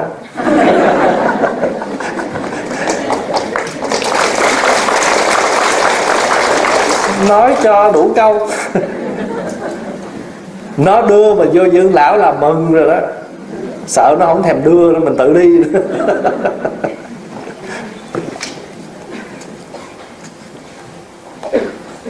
Cho nên có bốn bốn loại cây mà hôm nay mình học trong bài kinh. Thân mềm, vỏ cứng. Vỏ cứng à thân mềm, vỏ cứng, rồi gì nữa? Thân cứng, vỏ mềm. Thân mềm, vỏ mềm. Thân cứng, vỏ cứng. Và chúng ta sẽ thấy được rằng có thể mình là bốn, một trong bốn dạng đó. Rồi xung quanh mình cũng có những người dạng như vậy. Nhưng mà không có gì mình bỏ hết. Tại vì sao? Tại vì chúng ta có cái nhìn rồi. Chúng ta có cái sống rồi. Cho nên là dù cuộc đời có như thế nào, nhưng cái tâm hạnh sống tùy duyên của chúng ta vẫn có. Tùy duyên là gì? Ở bầu thì tròn, ở ống thì dài. Khéo ăn thì no, khéo co thì ấm. Cuộc sống có những lúc chúng ta rất là dư giả nhưng có những lúc chúng ta không gọi là thiếu thốn chỉ vừa đủ sống thôi là mừng. Mà thật sự ở đây thiếu thì không thiếu đâu. Chúng ta vẫn có đi làm chỉ cần chúng ta chịu khó, chúng ta gọi là tùy cái cái mà chúng ta có, thì chúng ta không đến nổi mà người Việt Nam, chúng ta hay nói những câu nói rất gần gũi và rất thực tế, liệu cơm gấp mắm? Liệu cơm gấp đậu hũ? Cách nào chúng ta vẫn sống được? Mình cứ nghĩ ngày xưa mình qua đây mình không có cái gì mình còn sống được. Không lẽ bây giờ ngày nay mình được như vậy rồi mà mình chết sao? Chỉ cần nghĩ như vậy thôi, thì cuộc sống mình, cái tâm tư mình nó khác. Cho nên mình đổi, phải đổi cái tâm mà đổi cái quan niệm sống. Đổi cái quan niệm sống là cuộc sống nó sẽ khác mình cứ quan niệm như thế này để là mình khổ. Mình cứ quan niệm như thế kia để là mình khổ. Cho nên mình mình thấy rằng mình đã, mình, cái đổi cái cách quan niệm, cái cách suy nghĩ của mình tích cực hơn thì nó sẽ khác. Cho nên đôi lúc mình cũng cần những cái vỏ cứng vậy. Để chi? Để bảo hộ cái thân mềm. Mà đôi lúc cái vỏ cứng là gì? Đó là những cái điều mà nó làm, luôn luôn nó làm trở ngại cho mình nhưng mà không sao hết. Trên cái câu mà các vị hay nhắc nhở mình vậy đó, tâm bất biến giữa dòng đời vạn biến. Và đạo Phật dạy chúng ta sống là tùy duyên, tùy cảnh, tùy thời. Hãy muốn phơi củ cải thì lúc nắng mà phơi, Chứ không lẽ đợi lúc mưa phơi sao? Thành nữ ra đúng thời là chúng ta phải làm. Mọi việc mọi, gọi là gì? Mọi người đồng ý thì chúng ta làm. Thiên thời Địa lợi Nhân hòa. Đến lúc chúng ta làm là phải làm. Cho nên một vị tổ ra phơi củ cải mà Giữa nửa giữa trưa hè nắng gắt. Đệ tử chạy ra nói trời ơi thầy ơi thầy vô thầy nghỉ đi. Trời nắng mà thầy phơi củ cải làm chi? Ông thầy ông say quá ông nói trời nắng mà không phơi củ cải ông đã đợi lúc mưa. Các đệ tử giật mình. Cho có người cuối cùng và kể lại chúng nghe câu chuyện. Ngày xưa có một vị hòa thượng, ông đi vào trong nhà. Ông khóa cửa lại. Ông khóa cửa lại xong dục cái chìa khóa đâu mất tiêu đi. Vô góc vậy đó. Ông ở trong nhà, ông la lên. Cứu tôi cứu tôi, ai mở cửa cho tôi, ai mở cửa cứu tôi trời chạy các đệ tử mà vô mà thấy sư phụ mà bị nhốt kiểu đó là quýnh quán lên. Đi tìm mọi cách để mà cứu sư phụ. Có chú đệ tử chú lay hoay, chú tìm được cái chìa khóa, chú cầm chìa khóa, chú đưa cho ông thầy. Thầy vì chú tự chú mở, chú làm, chú đưa ông thầy. Ông thầy khoái chí cười quá trời. Biết sao không? Thầy tự khóa, thì bây giờ thầy tự mở. Đó là thiền ngữ đó mà giữa tâm ông thầy và tâm người đệ tử nó tương ứng. Ông thầy muốn thử tâm đệ tử, coi đệ tử thấy gì trong hành động này. Cho nên đệ tử thấy rằng thầy ở trong này bây giờ có chìa khóa đây, thầy tự mở. Có một lần, một người đệ tử ngồi chơi với thầy thầy mới nói, con lợi cái đống lửa đó, con coi có lửa, con mồi cho thầy cái nhang người đệ tử cứ nhìn trong đống lửa về chạy tới nói dạ thưa thầy, lửa tắt. Không có lửa. Ông thầy ông tới ông lấy cây mồi lên. Rẹt mới trò. Ông thấy cầm ông gấp cục than, cái này là cái gì? Thì đệ tử giác ngộ. Đệ tử giác ngộ gì ở cái hành động của người thầy? Thứ hai, nó có hai chuyện. Một, con đừng nghĩ rằng tâm con không có phật. Bởi cái lớp tro nó phủ, lớp bụi, phiền não nó phủ. Mình tưởng đâu dưới này nó không có lửa. Cũng giống như con cứ nghĩ rằng người hung tợn thì không bao giờ tu được đó. Chỉ cần chịu khó lau chùi cái đó, dưới này có lửa nó lên. Phật tánh nó có mặt. Ở cái mặt khác, con đừng nhìn ở cái mặt hiện tượng bên ngoài mà con tưởng tâm con đã vững nha ở trong này nó còn ngầm lửa đó. Cũng giống như giờ nhìn một người, nhẹ nhẹ, nhàng nhàng, đừng tưởng. Sân hận vẫn còn, phiền não vẫn còn. Cho nên ngày nào còn sống ở đời này, ngày đó chúng ta còn tu. Mà chữ tu không có phải là chúng ta phải gõ mỏ vô gì cái chuyện đó được, hình thức. Cái quan trọng nhất là chúng ta thấy được cái bản chất của mình để rồi chúng ta chuyển hóa nó tu là tu với người, tu với cảnh, tu với mình. Cho nên mình nói, tu chợ, tu chùa, tu gì nữa? Tu nhà. Thì ba cái câu đó ta nghĩ rằng tu cái nào hơn? Thật sự ra, ba câu đó không có nghĩa là tu chợ hơn, tu chùa hơn hay tu nhà hơn. Tu chợ, tu chùa, tu nhà. Tu ở đâu? Nó cũng có có hoàn cảnh của nó. Và chúng ta phải trực diện chuyển hóa những cái hoàn cảnh ngay trong cuộc sống đó. Ví dụ ở nhà, phải tu theo ở nhà. Nó có những khó khăn ở trong nhà. Nó có những hoàn cảnh của trong nhà, nó làm mình khó tu. Vô chùa, nó cũng có cái thuận duyên để tu, nhưng bên cạnh nó cũng có những cái nghịch để chúng ta tu. Tu chợ, nó cũng có những cái ngoài chợ. Thí dụ như chợ là phải buôn bán, phải giao tiếp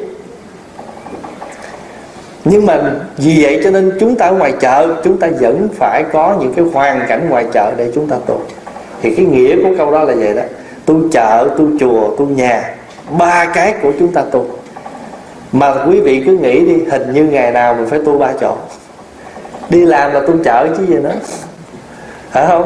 Về nhà là mình, ở nhà mình tu, rồi cuối tuần mình vô chùa là mình tu chùa. Cuộc sống mình mà ngày là mình không thể chửi người ngoài đường giống như người trong chùa được. Mình nói ví dụ vậy đó. Cho mình biết sống ở đâu ví dụ như mình đãi bạn của mình món đó vô chùa không phải chùa là ăn chay phải đãi chay. Thì cái hoàn cảnh chúng ta như thế nào ở đâu chúng ta phải tu theo đó. Ví dụ giờ Pháp Hòa qua đây là, là ở đây là đi trước bên Canada 8 tiếng.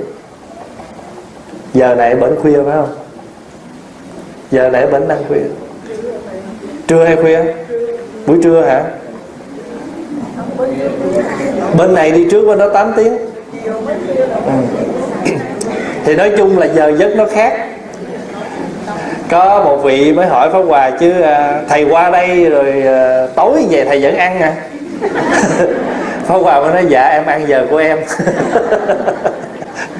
Nghĩa là ăn tối đây, nghĩa là ăn chưa chiều việc của mình đó ví dụ vậy. Thôi thì hôm nay cái buổi sáng này pháp hòa được thăm với đại chúng. Thì pháp hòa chia sẻ với đại chúng à, một cái bài kinh ngắn là phật nói về bốn loại cây. Ha có những loại cây thân mềm vỏ cứng. Có những loại cây vỏ cứng thân mềm. Có những loại cây vỏ mềm thân mềm. Và có những loại cây vỏ cứng thân cứng và chúng ta cũng học được những bài học từ cái cách sống. À, từ đó chúng ta thấy rằng những gì đức phật dạy nó không ngoài cái ý nghĩa là chúng ta ứng dụng vào trong cuộc sống của chúng ta. À, xin cảm ơn đại chúng đã dành à, một thời gian quý báu sáng hôm nay để cùng về tham dự để được chúng ta được thăm nhau buổi sáng này. Và chúc lành đến đại chúng và mong rằng à, chúng ta sẽ có một buổi à, trưa sinh hoạt vấn đáp thì quý vị nào có những câu hỏi những thắc mắc sự tu tập quý vị có thể viết vào tờ giấy và đưa cho ngoài bàn thư ký hoặc là bỏ vào cái chuông đây. Rồi thì chúng ta chiều nay lúc sau giờ trưa khoảng 1 giờ chúng ta sẽ có cái buổi à, sinh hoạt vấn đáp cho vui. Cảm ơn đại chúng rất nhiều. Thưa đại chúng à, ba năm trước Pháp Hòa về đây có gặp một bà cụ pháp danh là Diệu Cần nhưng lần này trở lại thì bà đã theo Phật rồi. Cho nên hôm nay người nhà có ghi tên bà để nhờ năng lượng của đại chúng. À, bây giờ chúng ta sẽ à, hồi hướng và để cầu nguyện cho bà Nguyễn Ngọc Nga pháp danh Diệu Cân sinh 1955 quá vãng ngày à, 31 tháng 10 2018 à, nguyện cầu cho bà được à, vãng sanh tình cảnh đại chúng được khỏe mạnh an vui. Con kính xin à, bạch thầy mỗi lần con chỉ nghe thầy thuyết pháp trên youtube tối nay con được chính kiến là chứng kiến nghe thầy thuyết pháp lòng con rất vui à, hạnh phúc á. Khi con nghe khi con khi con người ta nghe thấy cái chết là ai cũng lo sợ hoang mang rất là những người lớn tuổi, nhất là những người lớn tuổi và những người bệnh nặng. Con xin thầy từ bi khai thị để họ được hiểu biết thêm, để buông xả cái thân này niệm phật, để được vãng sanh đến cực lạc tây phương, khỏi khỏi luân hồi. Và con cũng xin hỏi xin hỏi thầy từ bi khai thị, nếu nếu mình niệm phật cho một người đã vãng sanh hoặc chưa vãng sanh, nhưng ở nước khác nhau, ý con muốn là ở nói là xa xứ thì sự cầu nguyện đó có đến được người đó không? Và câu hỏi thứ nhất á, là khai thị cho những người lớn tuổi mà chưa có biết thêm để mình niệm Phật cầu vãng sanh. Thưa đại chúng là đâu có ai nghe cực lạc Tây Phương Người ta cũng mê giống mình đâu mà khuyên. Tại vì có nhiều người người ta cũng sợ lên trển lắm. Tại vì sao? Lên trời hai đứa hai nơi. Sợ phải lên, Sợ phải lên trên trời. Cho nên mình đừng có nghĩ là mình khoái cực lạc Rồi ai cũng khoái giống mình. Có nhiều người ta khi người ta khoái cái khác Ta khoái cực khổ. Hay là mình thích Tây Phương Có người ta thích Tây Ninh sao? Cái ý niệm đó là tốt thôi, Không có gì sai. Nhưng mà mình phải biết là mỗi người Người ta có một cái duyên khác nhau và mình khuyên, thì nếu đủ người người nào có duyên với mình thì mình khuyên. Đại chúng nhớ, phật có một điều có thể làm và không thể làm. Đó là phật có thể biết tất cả căn tánh của chúng sanh, nhưng phật không thể nào thuyết pháp độ những người vô duyên với phật. Người không có duyên thì làm sao mình nói? Cho nên đó là một trong những cái điều mà phật có thể làm và không thể làm. Phật có thể biết được tất cả căn tánh chúng sanh, Đó là khả năng của Phật. Nhưng Phật không thể nào độ người vô duyên. Phật có thể biết được vô lượng vô số thế giới này. Phật có thể biết được vô lượng vô số thế giới này. Nhưng mà Phật không thể nào giải được hết cái nghiệp của chúng sanh. Bởi vì sao? Bởi vì nghiệp có những cái nghiệp nó mới trồng xuống, mình biết được, mình kêu nó nhổ ra được. Nó trồng giấu đâu trong nhà hai chục năm sau, nó bưng ra biểu mình làm làm sao được. Cho nên có những cái nghiệp không thể giải. Hay nói cách khác là phật có thể giúp cái khổ mà không độ được cái nghiệp. Cho ở đây á, pháp hòa chỉ muốn thưa là mình có cái ý tốt, muốn giúp người là tốt. Nhưng lựa đúng người nói và người đó phải có cái duyên mà muốn nghe mới được. Bởi vì họ không muốn nghe, mình có nói. Thí dụ mình ngồi trước mặt họ, mình nói, cuối cùng họ có nghe không? Không. Bằng chứng, con mình nè. Đó, nó đi về á, mình cứ lải nhải mình nói với nó. Nó đâu có trả lời mình, nhưng mà nó có nghe không? Nó chỉ nghe mình lải nhải thôi, nghĩa là nó nghe âm thanh của mình. Chứ còn nó không nghe những gì mình nói còn nếu nó nghe, rồi cái thứ hai là nó nghe mà nó thực hành. Còn có những người người ta không thực hành, cho nên có dù có nói cũng không, cũng bằng không. Cho nên cái đó gọi là nhất xiển đề đó. Hồi sao hồi trưa pháp hòa có giải thích ở trên ho đó. Hỏi nhất xiển đề là gì? Nhất xiển đề được dịch là bất tính. Còn được dịch là tính bất cụ nghĩa là người không có niềm tin hay là niềm tin không đủ. Thì trong kinh đại bác niết bàn, đức phật ví dụ nhất xiển đề như thế nào? Như người có bệnh, dù không uống thuốc, vẫn không hết bệnh.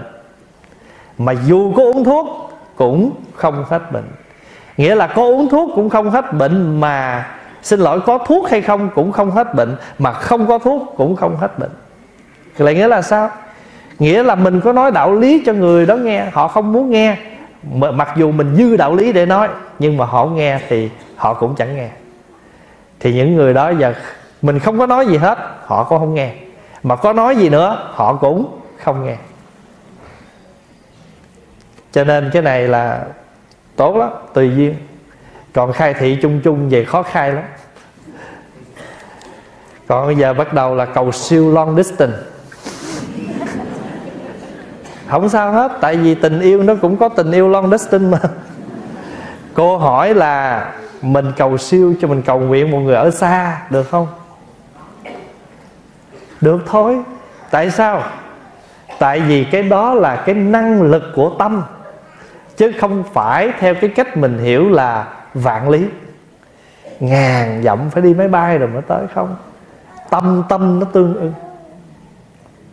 Bởi vì cái tâm lực mà cái tâm là cái không có hình tướng, mà cái gì nó không hình tướng, cái đó nó mới mạnh. Cho nên đôi lúc có có những người thầy trò người ta tiếp tâm với nhau mà mình đâu hiểu ta đang nói gì đâu. Tại vì sao? Vì mình nghĩ rằng phải có lời ra cái ngôn từ mới được. Nhưng mà các vị người ta không cần. Giống như là lục tổ với vậy với lại ngũ tổ vậy đó. Ngũ tổ, lục tổ mà đến đến gặp ngũ tổ rồi thì hỏi là ông đến đây làm gì? Ông từ đâu tới? Nói dạ con từ lãnh nam tới và con tới đây để cầu làm phật. Ngũ tổ trả lời, dân lãnh nam là dân ngoại rợ, làm sao có khả năng cầu làm phật? Lục tổ trả lời người có chia nam bắc, phật tánh đâu có chia bắc nam. Thì ông thầy cũng thấy rồi, ông này là được lắm nhưng mà chưa xác định. Thử tiếp. Đừng có lắm lời, đi xuống bếp mà giả gạo. Lục tổ đi xuống bếp giả gạo. Cả tháng sau, ngũ tổ đi xuống. Hỏi, gạo trắng chưa? Mấy câu hỏi đó mà nếu gặp mình thì dạ tổ nhìn tổ biết rồi, con làm kỹ lắm nhưng mà cái người thầy giữa tâm với tâm nó tương ưng rồi. Dạ gạo đã trắng rồi, chỉ cần sàn nữa là xong. Nghĩa là ông tu tới chưa? Dạ con tu tới rồi, con đạt được cái chỗ đó rồi. Con chỉ cần tổ xác định. Gạo đã trắng rồi, chỉ cần sàn nữa là xong ngũ tổ cầm cây gậy gõ lên cái miệng nò cái miệng cối ba cái chắp tay sau lưng đi. Lục tổ biết ổng hẹn mình tối nay 3 giờ. Và nhớ đi cửa sau chắp tay sau lưng đi. Nếu mà gặp mình ông già kỳ cục xuống hỏi đã là đi. Nhưng mà cái cái chỗ đó là cái chỗ bất khả tư nghi, giữa tâm thầy trò. Thì ở đây pháp hòa cũng nói vậy khi mình tiếp với cái người mất không phải ở cái lời nói chẳng qua là tại thế gian của mình sống theo cái lối bình thường. Mình cầm cái nhang lên cái nói à, má hôm nay là dỗ má tụi con à, ở đây nhớ nghĩ đến má à, làm mâm cơm gì đó ha má về ăn thí dụ vậy. Tại vì cái thói thế gian là mình ấy thì thật sự mình cầm cái nhang mình im vậy nè mà trong tâm mình khởi là mình đã connect rồi tại vì cái đó tâm tâm nó tương tâm, chẳng qua mượn cái nhang thôi, để làm cái hình thức. Thưa thầy, con học trong kinh pháp hoa phẩm phổ môn có đoạn đức phật dạy rằng, nếu có một người thọ trì danh hiệu một đức phật cùng một người cúng dường thì phước báo bằng nhau. Hôm nay hội đủ duyên, con kính xin thầy quan hỷ giải đáp dùm con. Thấu đáo thế nào là thọ trì danh hiệu một đức phật? Và thế nào là sự cúng dường bằng nhau không khác. Theo cái hiểu thường của mình á, thọ trì danh hiệu tức là niệm cái danh hiệu đó. Nhưng mà cái đó là mình cái hiểu ở mặt chữ thôi. Nhưng về cái phần nghĩa nó chưa sâu. Thọ trì có nghĩa là chúng ta tiếp nhận cái pháp tu ở nơi cái tâm, cái tên của cái vị đó ví dụ, bây giờ mình nói ví dụ tên của một đức phật. Tên là nam mô thiện công đức phật. Thọ trì danh hiệu của đức phật tên là thiện công đức. Nghĩa là chúng ta ai cũng mong mỏi làm công đức hết. Nhưng mà có khéo để tạo công đức không? Hay là tạo hồi rồi tạo nghiệp mà thay vì công đức? Cho nên chữ thiện là gì? Là khéo. Khéo để chúng ta có được cái công đức đó. Cho nên chúng ta tu theo cái danh hiệu phật đó gọi là thọ trì danh hiệu. Mà nếu chúng ta, mà nếu nói đúng hơn là danh hiệu phật nào cũng chuyên chở pháp tu, trong đó có sự phụng sự cúng dường. Thí dụ như công đức là gì? Là gì khi chúng ta biết phụng sự chúng sanh? Mà không hề chấp trước, không hề dính mắc những gì chúng ta làm và không bắt buộc người đó phải trả lễ lại cho ta. Đó là thiện công đức rồi. Vì vậy thì thọ trì danh hiệu của một đức phật và cúng dường là bằng nhau không có khác. Tại sao?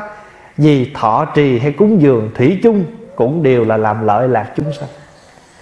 Ví dụ bây giờ người ta người ta cần mình đến niệm phật cho người ta an tịnh cái tâm mình niệm phật thì mình mình cho người ta thức ăn của tinh thần để cho tâm người ta lắng. Ở mặt khác, người kia đang nấu ăn, để cho đại chúng lát nữa niệm phật xuống có ăn. Người nấu ăn và người niệm phật công đức ngang nhau. Tại vì đều là cúng dường. Một người cúng dường câu niệm phật cho tâm, một người cúng dường thức ăn để cho người đó được sức khỏe.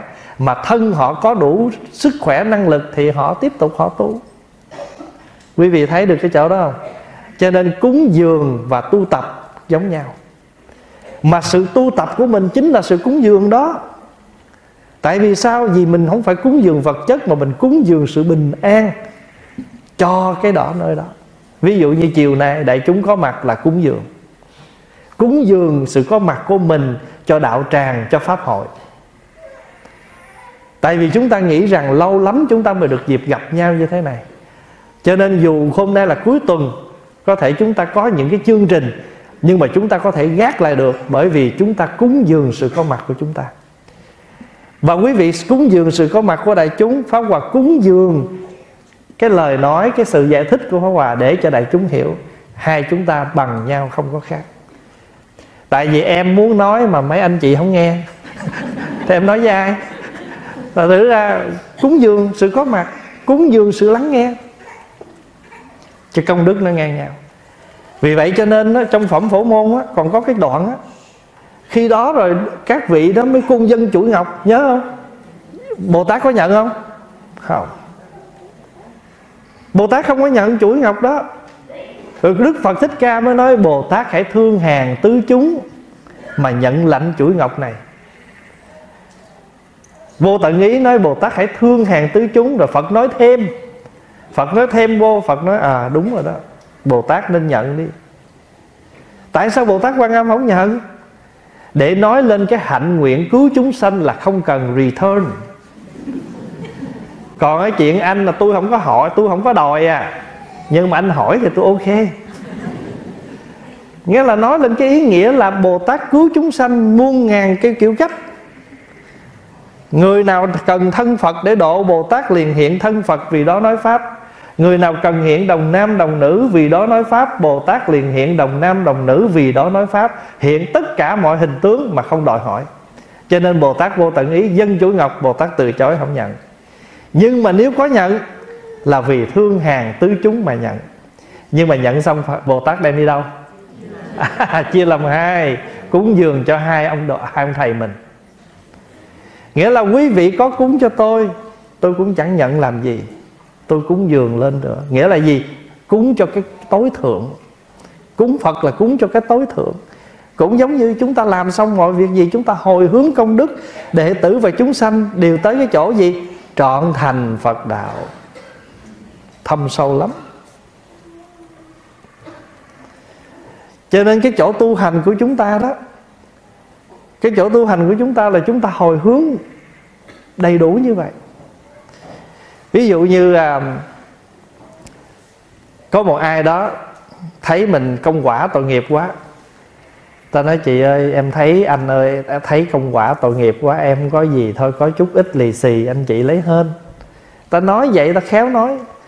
Nhiều khi mình nhận xong mình đấu sai đó mình đem mình nói con nãy con quét nhà có người tới lì xì con năm chục con xin cúng dường vô cái quỹ in kinh. Phải không? Thành sự công đức ngang nhau, vì người đó nghĩ tới mình cúng dường mình. Mình nghĩ tới người đó, mình cúng dường in kinh để công đức họ cũng có được. Lợi lạc cho nhiều hơn nữa. Quý vị thấy được chỗ đó chưa? Rồi.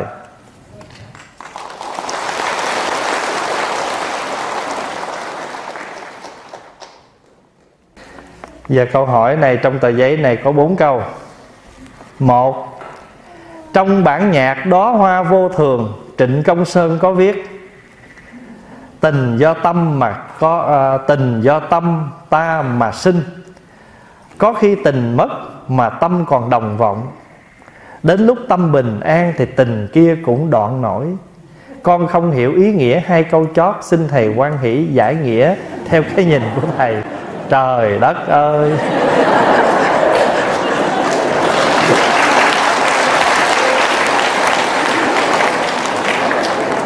Hết giảng kinh bữa nay giảng nhạc tình.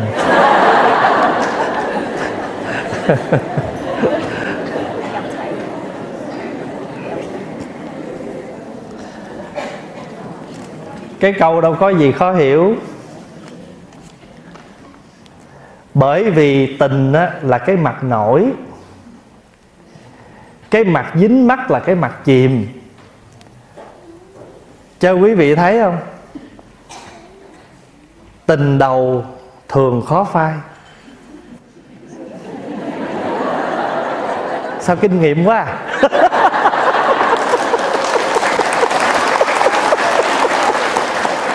à. Đừng hiểu lầm nha.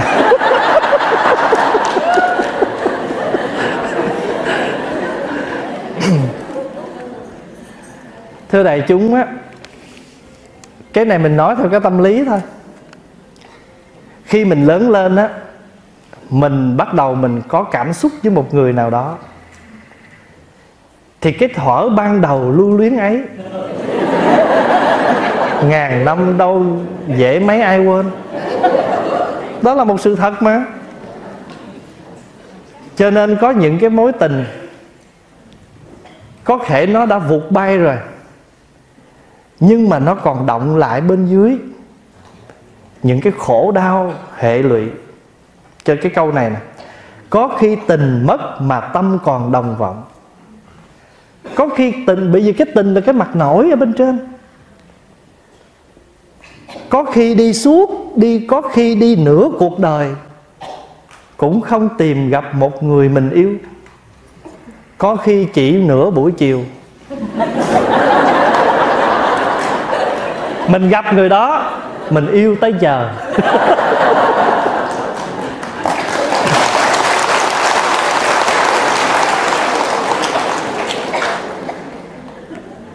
Chứ cái tình là cái mặt nội Nhưng mà quý vị thấy không, Có những cái tình nó đi rồi Nhưng mà khổ đau nó còn động lại. Mà nhắc tới cái người, Cái mối tình đó là bắt đầu hận Có. Nếu mà cái tình đó nó chia tay trong êm ấm mình không có làm gì người đó buồn hết, Tự nhiên người đó Không có còn cảm thấy có cảm tình chia tay Mà mình không hề giận người đó. Thì mỗi lần nhắc nó đau nhói. Tại vì mình đâu có làm gì sai Mà người đó bỏ mình. Tình đi mà còn động lại. Nhưng mà có những cái tình gặp nhau rồi, khoác cầu không còn thương nhau nữa rồi, nó nó ở trên này, nó một vàng một trận rồi nó mới đi.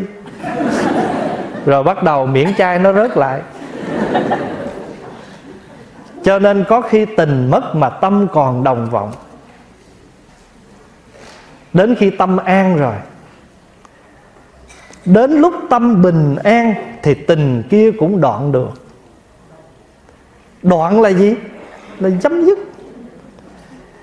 Cho nên chỉ có khi nào tâm an trí sáng, mình mới đoạn được những cái tình mà vốn nó đều là ái khổ yêu, tiếng hán là ái. Ngọ ái nị. Nị ái ngọ. Hễ ái là yêu, mà yêu là nó có đối tượng. Mình là người yêu, là năng ái.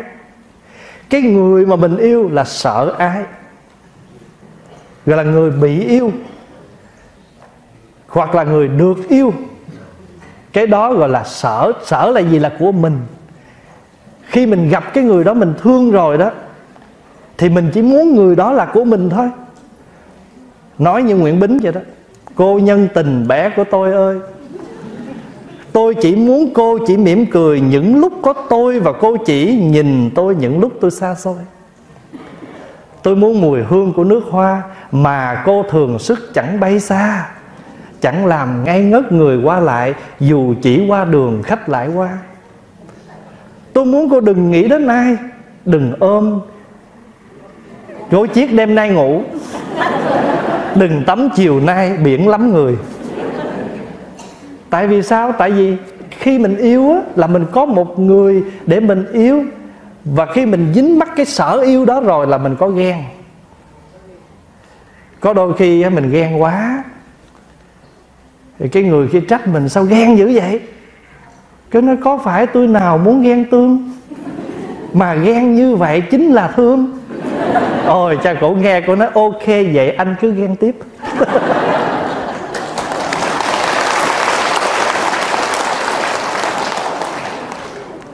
Cho nên khi nào mà mình còn có đối tượng là còn có dính mắt. Mà còn có dính mắt là còn có đau khổ còn khi nào tâm bình an là mình thấy nè, các hành là vô thường. Mọi hiện tượng trên thế gian này đều là vô thường hết.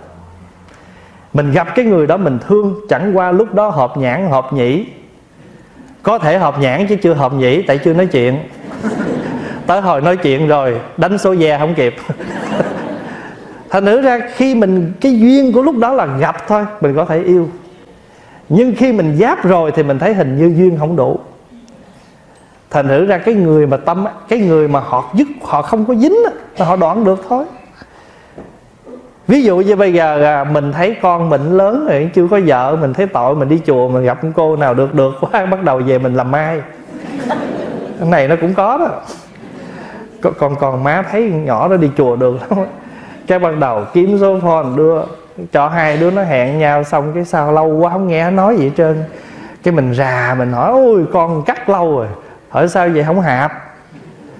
Mà khi không hạp thì có cần lưu luyến nhớ nhung gì nữa không?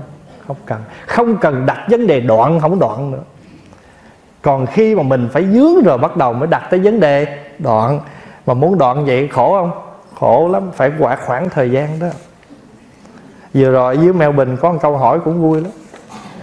bữa nào quý vị nghe lại câu hỏi đó. Cho nên ở đây á cái câu này nó chỉ vậy. Ở hai cái trạng thái khi tâm mình chưa bình thì mình thấy lúc nào nó cũng sống lấp nhấp nhô. Và ở trên đời này hễ cái tình nào mà còn có dính mắt là tình có đó có đau khổ. Cho nên ngày xưa mà à, Ờ, đức quỳnh phú sổ ở bên ờ, phật giáo hòa hảo vậy tôi có tình yêu rất mặn nồng, yêu đời, yêu đạo lẫn non sông. Tình yêu chan chứa trong hoàng vũ, chớ chẳng yêu riêng khách má hồng. Nếu khách má hồng muốn được yêu, thì trong tâm ý hãy xoay chiều. Hướng về phụng sự cho sanh chúng, sẽ gặp tình tôi trong khối yêu.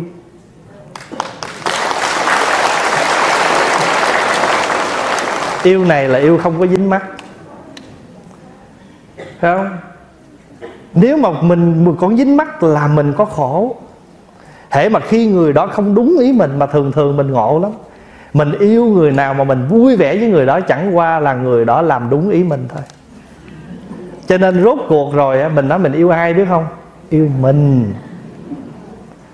Yêu mình. Nó quán cho đủ ra là yêu mình chứ yêu ai đâu. Người đó mà làm mình happy là mình yêu họ hết lòng luôn chết bỏ luôn. Tại vì họ làm đúng ý mình. Cho nên ngày xưa mà hoàng hậu mặc Lợi mà được vua hỏi đó Đến đời này trẫm yêu ai à, Khanh ái khanh yêu ai nhất? Bà hỏi Hoàng thượng có muốn thần thiếp trả lời thật không? Nếu trả lời nói dối đó Thì thần thiếp sẽ nói rằng Trên đời này thần thiếp yêu hoàng thượng nhất. Còn nếu mà Hoàng thượng muốn nghe sự thật Thì thần thiếp sẽ nói cho hoàng thượng biết rằng Ái à, Ái khanh đây Thần thiếp đây yêu thần thiếp nhất Tại vì thần thiếp yêu thần thiếp cho nên hoàng thượng cung phụng thần thiếp yêu thần thiếp thì thần thiếp sẽ yêu lại hoàng thượng. Thành thử ra hòa thần ái thần thiếp mà yêu ngài đó là chẳng qua là ngài làm những gì mà thần thiếp muốn thôi. Cho nên nói cho đủ, nói cho đúng, nói cho chân thật là yêu bản ngã của mình. Yêu chính con người mình. Cho nên khi mình dở ra rồi, trời ơi, lâu nay tại vì tôi yêu chính tôi thôi, tôi chấp vào cái ngã của tôi tôi muốn người đó phải như thế này với tôi người kia phải kia thế tôi cho nên người đó mà điên cái rồi là tôi đau khổ tôi dày vò bây giờ tôi phát hiện ra được rồi và năng lễ sở lễ năng yêu sở yêu tánh không tịch đủ duyên thì hợp, hết duyên thì tan. Bình an rồi thì cái tình kia cũng đoạn được. Đó đây là pháp hòa giải thích cái câu nhạc tình đó.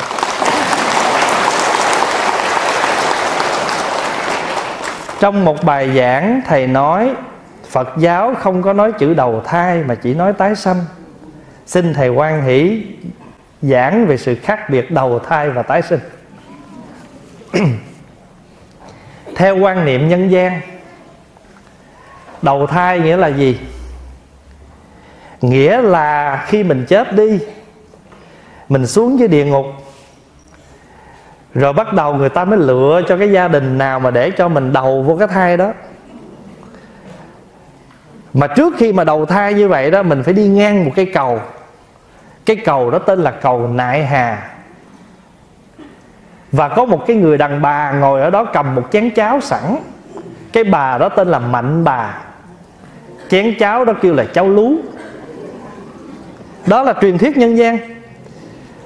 Có một cây cầu nại hà, có một bà già tên mạnh, và có một chén cháo lú. Khi mình sắp sửa đi đầu thai vô cái nhà nào đó, chui vô cái thai đó đó, bằng cách nào? Bằng cách là mình đi ngang nhà nào rồi thấy vợ chồng họ đang quan hệ tình cảm với nhau, mình sinh tâm ham thích, mình chui vô mình làm con họ. Đó là cái quan niệm đầu thai đó. Nhưng mà trước khi mình đi đầu thai là mình phải uống một chén cháo lúa để làm chi? Lên trên này mình quên luôn mạnh bà. Cho nên bà uống xong, mày đừng nhớ tao nha mày. đó là quan niệm của nhân gian và nó không có, nó không, trong Phật giáo không có cái thuyết đó. Phật giáo không có cái thuyết là chết rồi cái hồn của mình đi vòng vòng mấy cái nhà, rồi thấy cặp nào mà nó đang gần gũi với nhau mà mình sanh tâm khởi dục tương đồng với vợ chồng đó, mình vô mình làm con họ. Vì vậy mà ngày xưa ông bà ở Việt Nam đó nha, vì bị cái thuyết đó mà ông bà dặn trong vòng 49 ngày vợ chồng trẻ không được gần gũi nhau. Vì sợ ông bà tái sinh vô làm con cháu của họ. Mà vì bởi vì cũng là có cái quan niệm đó cho nên mỗi lần con cháu mà nó chọc giận đó, mày là ba tao đó. Mày là tía tao mẹ ông nội tao. Vì cái quan niệm đó. Quý vị có nghe hồi nhỏ bị chửi câu đó không? Mỗi lần mà ông bà mình mà giận mình cái chửi vậy đó mày tía tao cái quan niệm như vậy. Nhưng cái quan niệm đó là quan niệm đầu thai đó. Đạo phật không có quan niệm có thuyết đó. Nhưng mà cái đạo phật nói là tái sinh. Tái sinh là gì? Là mình sinh trở lại tùy theo cái nghiệp của mình. Cho nên đối với bồ tát á, đối với phật là tùy nguyện tái sinh. Còn chúng ta là tùy nghiệp thọ sinh. Các vị trở lại đây là do nguyện còn dạng mình đây là nghiệp. No choice. Nghiệp đẩy đi là mình đi. Nó I want that my family. No way. Anh không đủ phước, không được vô nhà giàu không đủ phước, đời này ganh tị bỏng sáng không đủ cái phước đó thì tái sinh theo cái nghiệp. Chứ không có ông nào đặt để. Không có cái ông nào nói, trời, này dễ thương nè. Cho nó sinh vô nhà kia. Không có. Nghiệp hết vì vậy mà tổ quy sơn nói, nghiệp quả sở khiên thành nan đào tị cái nghiệp mà nó thành nên rồi, đừng có mong mà trốn ở đâu hết. Nan đào tị khó mà trốn đâu lắm. Học xuyên thước phi thức tâm tùy nghiệp. Như nhân phụ trái cường giả tiên khiên. Như con chim sổ lòng, gọi là học xuyên thước phi. Con chim nó sổ lòng, nó bay về rừng nó thức tâm tùy nghiệp cái tâm thức mình tùy nghiệp mà tái sinh, tùy nghiệp mà thọ sinh. Như người thiếu nợ, như nhân phụ trái, cường giả tiên khiên, người nồng mạnh là lôi mình trước. Ví dụ giờ pháp hòa ở sydney này ba chục năm, mượn tiền cũng khá. Và bữa nào người ta tuyên bố, tao nói ông thầy pháp hòa ông sắp dọn qua canada, ông ở rồi đó. Pháp hòa nợ mấy người vài ba trăm, tao không kiếm đâu mấy cái người mà phải hòa nợ trăm ngàn nó chạy tao kiếm trước. Tại vì sao? Người ta mất trăm ngàn là số lớn. Còn mấy người mà dài dài trăm đồng lỡ mất không sao. Cường giả là tiên khiên người nào, cái cái cái nghiệp nào mạnh nó đi về đó. Cho nên tái sinh là vậy. Còn các vị cho nên hồi xưa mình ta chúc nguyện các vị mà mà hòa thượng viên tịch đó, nhiều khi người ta chúc một câu thôi kính nguyện hòa thượng tái lai phổ độ. Chúng con kính nguyện hòa thượng trở lại ta bà này để độ chúng sanh gọi là tái lai phổ độ. Trên cái chữ đầu thai là theo cái thuyết đó. Còn phật giáo thì không có đầu thai mà tái sinh do nghiệp. Câu hỏi thứ ba.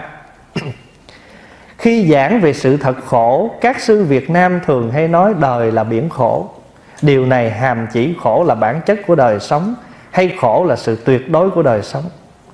Kinh bốn sự thật thánh thiện cho rằng khổ là sự thật thánh thiện thứ nhất. Có sự khác biệt nào giữa khổ sự thật thánh thiện và khổ là sự thật tuyệt đối, như hàm chỉ trong đời là biển khổ? Thưa đại chúng, hai câu này nó không có gì khác đó nhưng mà có cái điều là một cái ví dụ như nói là bản chất của đời là khổ. Nhưng mà nếu khổ mà để cho chúng ta chuyển hóa cái khổ chúng ta tu thì cái khổ này nó có thật khổ không? Khổ này bây giờ trở lại là thánh đế, là thiện, là thánh thiện. Cho nên khổ mà để chúng ta tu tập, chưa chắc cái khổ đó đã sai, không tốt. Pháp Hòa có những Phật tử Trời ơi, cuộc sống đau khổ vô cùng. Có một ngày nọ, bạn giới thiệu một thầy khác Đang mới viết cho qua cái thơ ngày hôm qua. Trong lúc con khổ, con tuyệt cùng của cái khổ, Bạn con giới thiệu con nghe giảng một thầy đó. Con lên, con nghe thầy đó giảng. Trong lúc con nghe, tai con rà rà, Con thấy có tên của thầy. Và lúc đó thầy nhìn rất đẹp trai. Attract. Click vô nghe. Và sau khi nghe được một bài và từ đó con tìm rất nhiều bài của thầy để con nghe. Và con cảm ơn thầy, bây giờ cuộc sống của con ổn định, không có khổ. Như vậy khổ là một sự, khổ là gì? Thật sự không có khổ. Tại vì chúng ta không chấp nhận sự việc đó như là nó mới khổ chứ còn nếu chúng ta chấp nhận thì bản chất của mọi sự việc nó đâu có gì khổ đâu. Nhưng mà tại vì mình đồng ý thì mình vui, mà không đồng ý thì mình khổ. Cho nên á, khổ là sự thánh thiện.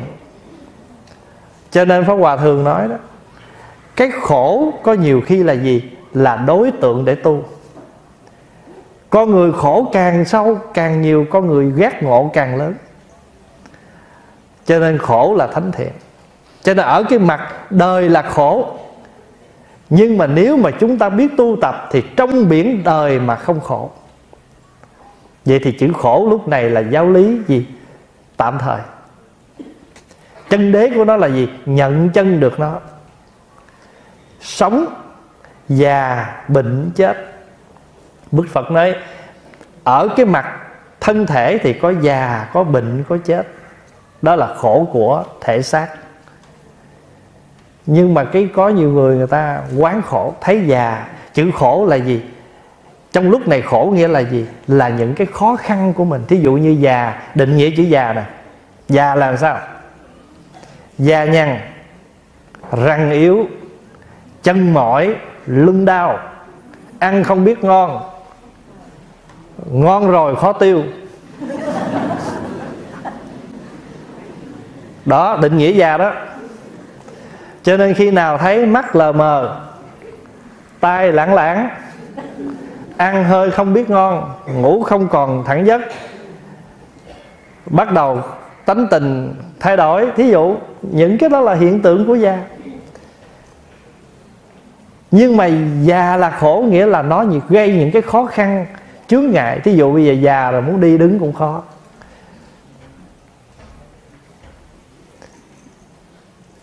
Cho nên ở đây á, có sự khác biệt nào giữa khổ sự thật thánh thiện với khổ sự thật tuyệt đối? Sự thật đó là vậy đó, nhưng mà hễ mà anh nhận ra được nó nó là pháp tu. Thí dụ đây, tôi bây giờ già rồi, đi đứng không còn nhanh nhậu nữa. Cho bây giờ tôi sẽ cố gắng giảm bớt những gì không cần thiết để chuyên tâm vào sự hành trì thì cái khổ đó không khổ.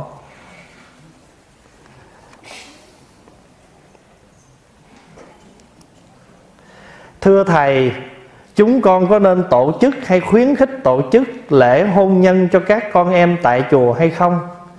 Vì có một số phật tử cho rằng chùa là nơi tu hành trang nghiêm, không nên tổ chức những sự kiện vui nhộn có tính thế tục. Con có nói, bên Kitô giáo họ thường làm, thì sao? Thì không được trả lời. À, thì được trả lời đó là truyền thống bên đó đã có từ lâu. Xin thầy cho con biết ý kiến. Cái quan niệm là chùa không được làm đám cưới. Nghĩa là mình quan niệm chùa chỉ làm đám ma.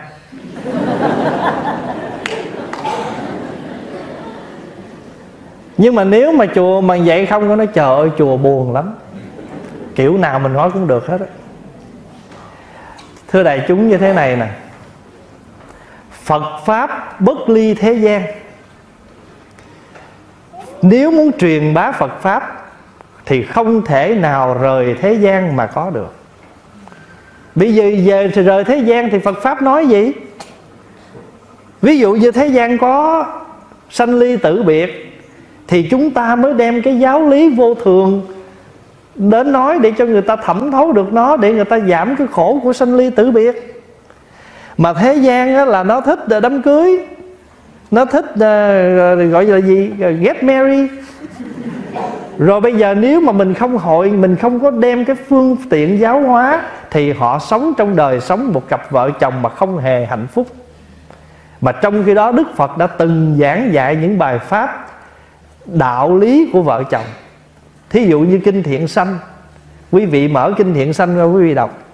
Phật dạy chồng đối với vợ có năm điều. Vợ đối với chồng có năm điều. Chủ đối với người làm người làm đối với chủ. Thầy đối với trò trò đối với thầy. Trong kinh thiện sanh, phật nói đủ hết tất cả mọi bổn phận của con người, thế gian chúng ta. Thì tại sao chúng ta không lấy cái đó ra để mà hướng dẫn cho phật tử nhân cái dịp đám cưới của họ? Mà quý vị cứ nghĩ thí dụ bây giờ họ tổ chức đám cưới ở chùa, họ được lễ phật, họ được nghe pháp, rồi cuối cùng họ mời bà con quyến thuộc ăn bữa chay, lành thiện không? Tại sao không được? Không có gì không được hết. Mà cũng không có một sách vở nào quy định chùa chỉ được làm đám tang. Mà chính quan niệm như vậy cho nên ngày xưa người ta sợ gặp thầy chùa lắm. Pháp Hòa nói thật mà. Đi đâu mà gặp mấy thầy là người ta sợ lắm. Vì ta nghĩ chắc đám ma ở đâu đây nè. Đám chết đâu đây nè, Gặp mấy ông này ớn lắm. Đâu phải vậy đâu. Mà nếu mà nói đúng, Nếu mà nói nữa nè, Không lẽ thầy hy sinh hết cuộc đời trai trẻ của người tu Chỉ đi tụng mấy cái đám chết?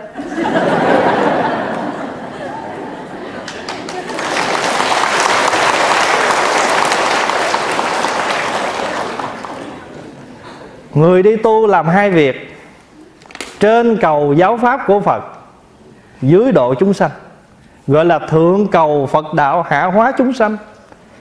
Mà hạ hóa chúng sanh là có chúng sanh có nhiều cái tầng cấp, nhiều cái phương tiện, nhiều cái hoàn cảnh. Bây giờ quý vị thấy á, bây giờ mình nói mình không nhận đám cưới mà đám nào vô mình cũng nhận hết. Vậy là mình kỳ thị. Bây giờ ai muốn đầy tháng cũng được. Muốn thôi nôi cũng được. Nếu mà họ cúng thôi nôi cho con họ mà họ đem vô chùa, họ đãi một bữa cơm chay cho bà con quyến thuộc, tốt chứ có sao đâu. Đứa nhỏ nó được phước, không vì cái ngày thôi nôi nó mà 10 con gà chết 10 con vịt chết. Cho nên điều đó tốt chứ có sao. Mà hơn nữa là người ta biết tâm hướng thượng, hướng thiện cho nên người ta mới đi vô tới đây cho nên cái vui ở trong chùa không? đâu có nghĩa là lúc nào cũng phải tĩnh lặng. Nếu ở một cái chương trình nào đó, thì có sao đâu. Đó là phương tiện. Mà thưa đại chúng chúng ta mở chùa để làm gì? Cũng chỉ không ngoài mục đích là phụng sự chúng sanh. Mà những nhu cầu chúng sanh mà nó điều thiện chúng ta phải làm. Nếu ai học cái hạnh phổ hiền cửu giả hằng thuận chúng sanh. Quý vị nhớ câu đó không? Hằng thuận chúng sanh là thế nào? Không phải chúng sanh biểu mình cười là mình cười, biểu mình khóc là mình khóc. Mà mình phải hằng thuận những điều lành thiện mà chúng sanh yêu cầu. Chúng sanh, chúng ta không hằng thuận những người yêu cầu chúng ta, những việc mà chúng ta không thể làm.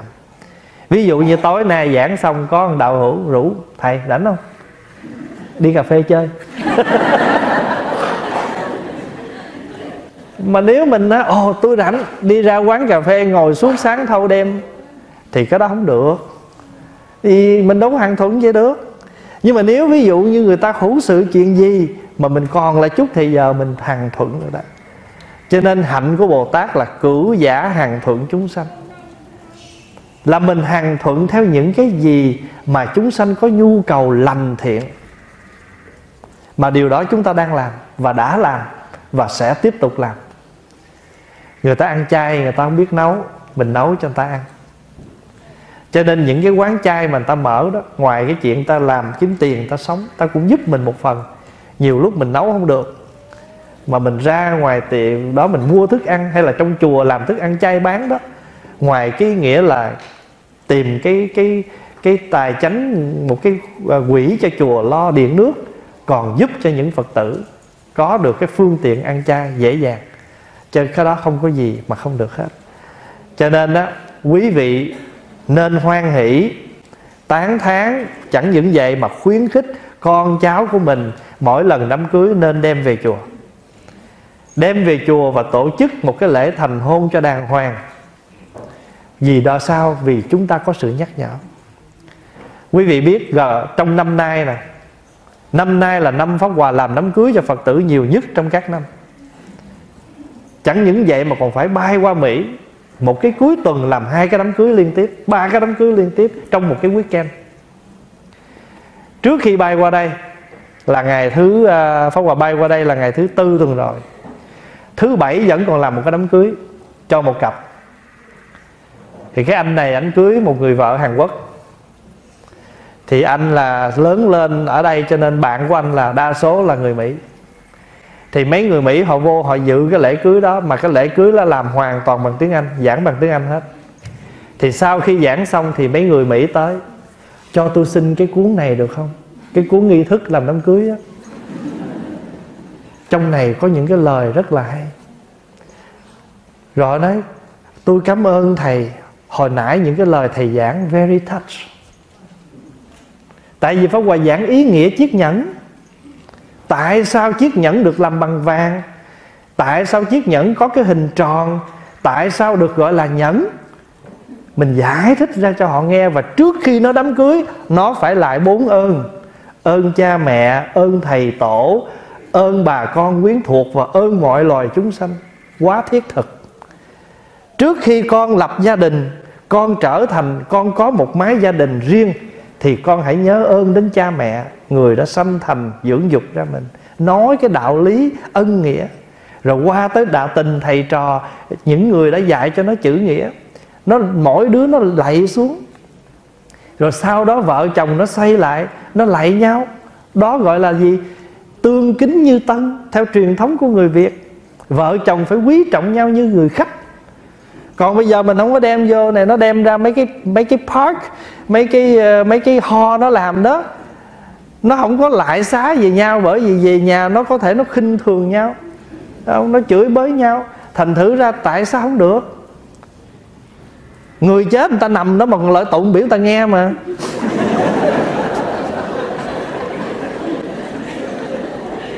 Trời ơi, cái lợi dông hồn ơi, hỡi dông hồn cuộc đời nay biển mai cồn tỉnh chưa? Nếu mà ông đó ngồi dậy tỉnh rồi.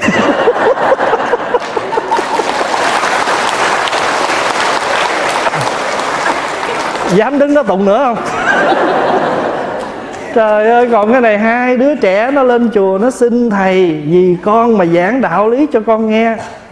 Một tâm hồn nó còn sống, nó hướng thượng như vậy, tại sao chúng ta không chịu? Mà chẳng lẽ chúng ta không thích con cái chúng ta hướng thượng à? Hướng thiện à? Hướng giải thoát à? Mà cái đứa nào mà tâm nó còn hướng thượng, hướng thiện, hướng giải thoát, nghĩa là nó hướng giáo pháp. Bởi vì giáo pháp của phật có ba công năng. Hướng thượng, hướng thiện, hướng giải thoát. Mà một tâm chúng sanh nó còn hướng thượng, hướng thiện thì mình phải phát tâm trợ duyên chứ tại sao lại cản trở? Và quy định rằng chùa chỉ để làm đám ma cúng người chết. Đạo phật độ sanh, độ tử, mà độ sanh quan trọng hơn độ tử nữa. Bởi vì người còn sống mà họ nghe thẩm thấu được đạo lý, họ lo họ tu hành họ chuyển hóa nghiệp lực của họ, đến khi họ có mất đi, lỡ mình không có tụng, họ vẫn siêu như thường. Họ siêu theo cái nghiệp tốt của họ. Còn nếu mình có tụng là trợ duyên thêm thôi. Rồi bây giờ nếu mà đi độ cho người mất á người mất chỉ là phương tiện để tới tụng mà chính là tụng cho người còn quỳ đó đó. Bình thường biểu nó quỳ nó đâu có quỳ. Bữa nay nhà nó có chuyện nó biểu nó quỳ nhiêu nó cũng quỳ hết đó cho nên mình nó quỳ đó để chi? Nó, nó nghe. Mà nếu họ nghe được họ phát tâm họ tu được là mình thành công. Độ tử là độ sanh. Cuối cùng độ sanh vẫn quan trọng. Độ tử là phương tiện. Bây giờ nếu mà không có cúng thất làm xong cái đám tang thì sao? Thầy đi đường con. Thầy đi đường thầy, con đi đường con. Giờ nhờ cúng thất nó còn kéo nhau được về 7 tuần nữa. Có cơ hội thuyết tiếp. Tụng kinh tiếp, thuyết pháp tiếp. Biết đâu chừng sau 7 tuần làm phật tử luôn sao? Đấy, đây thiếu gì? Nhờ những người chất chân mất trong nhà mà có mới đi chùa. Phải không? À cho nên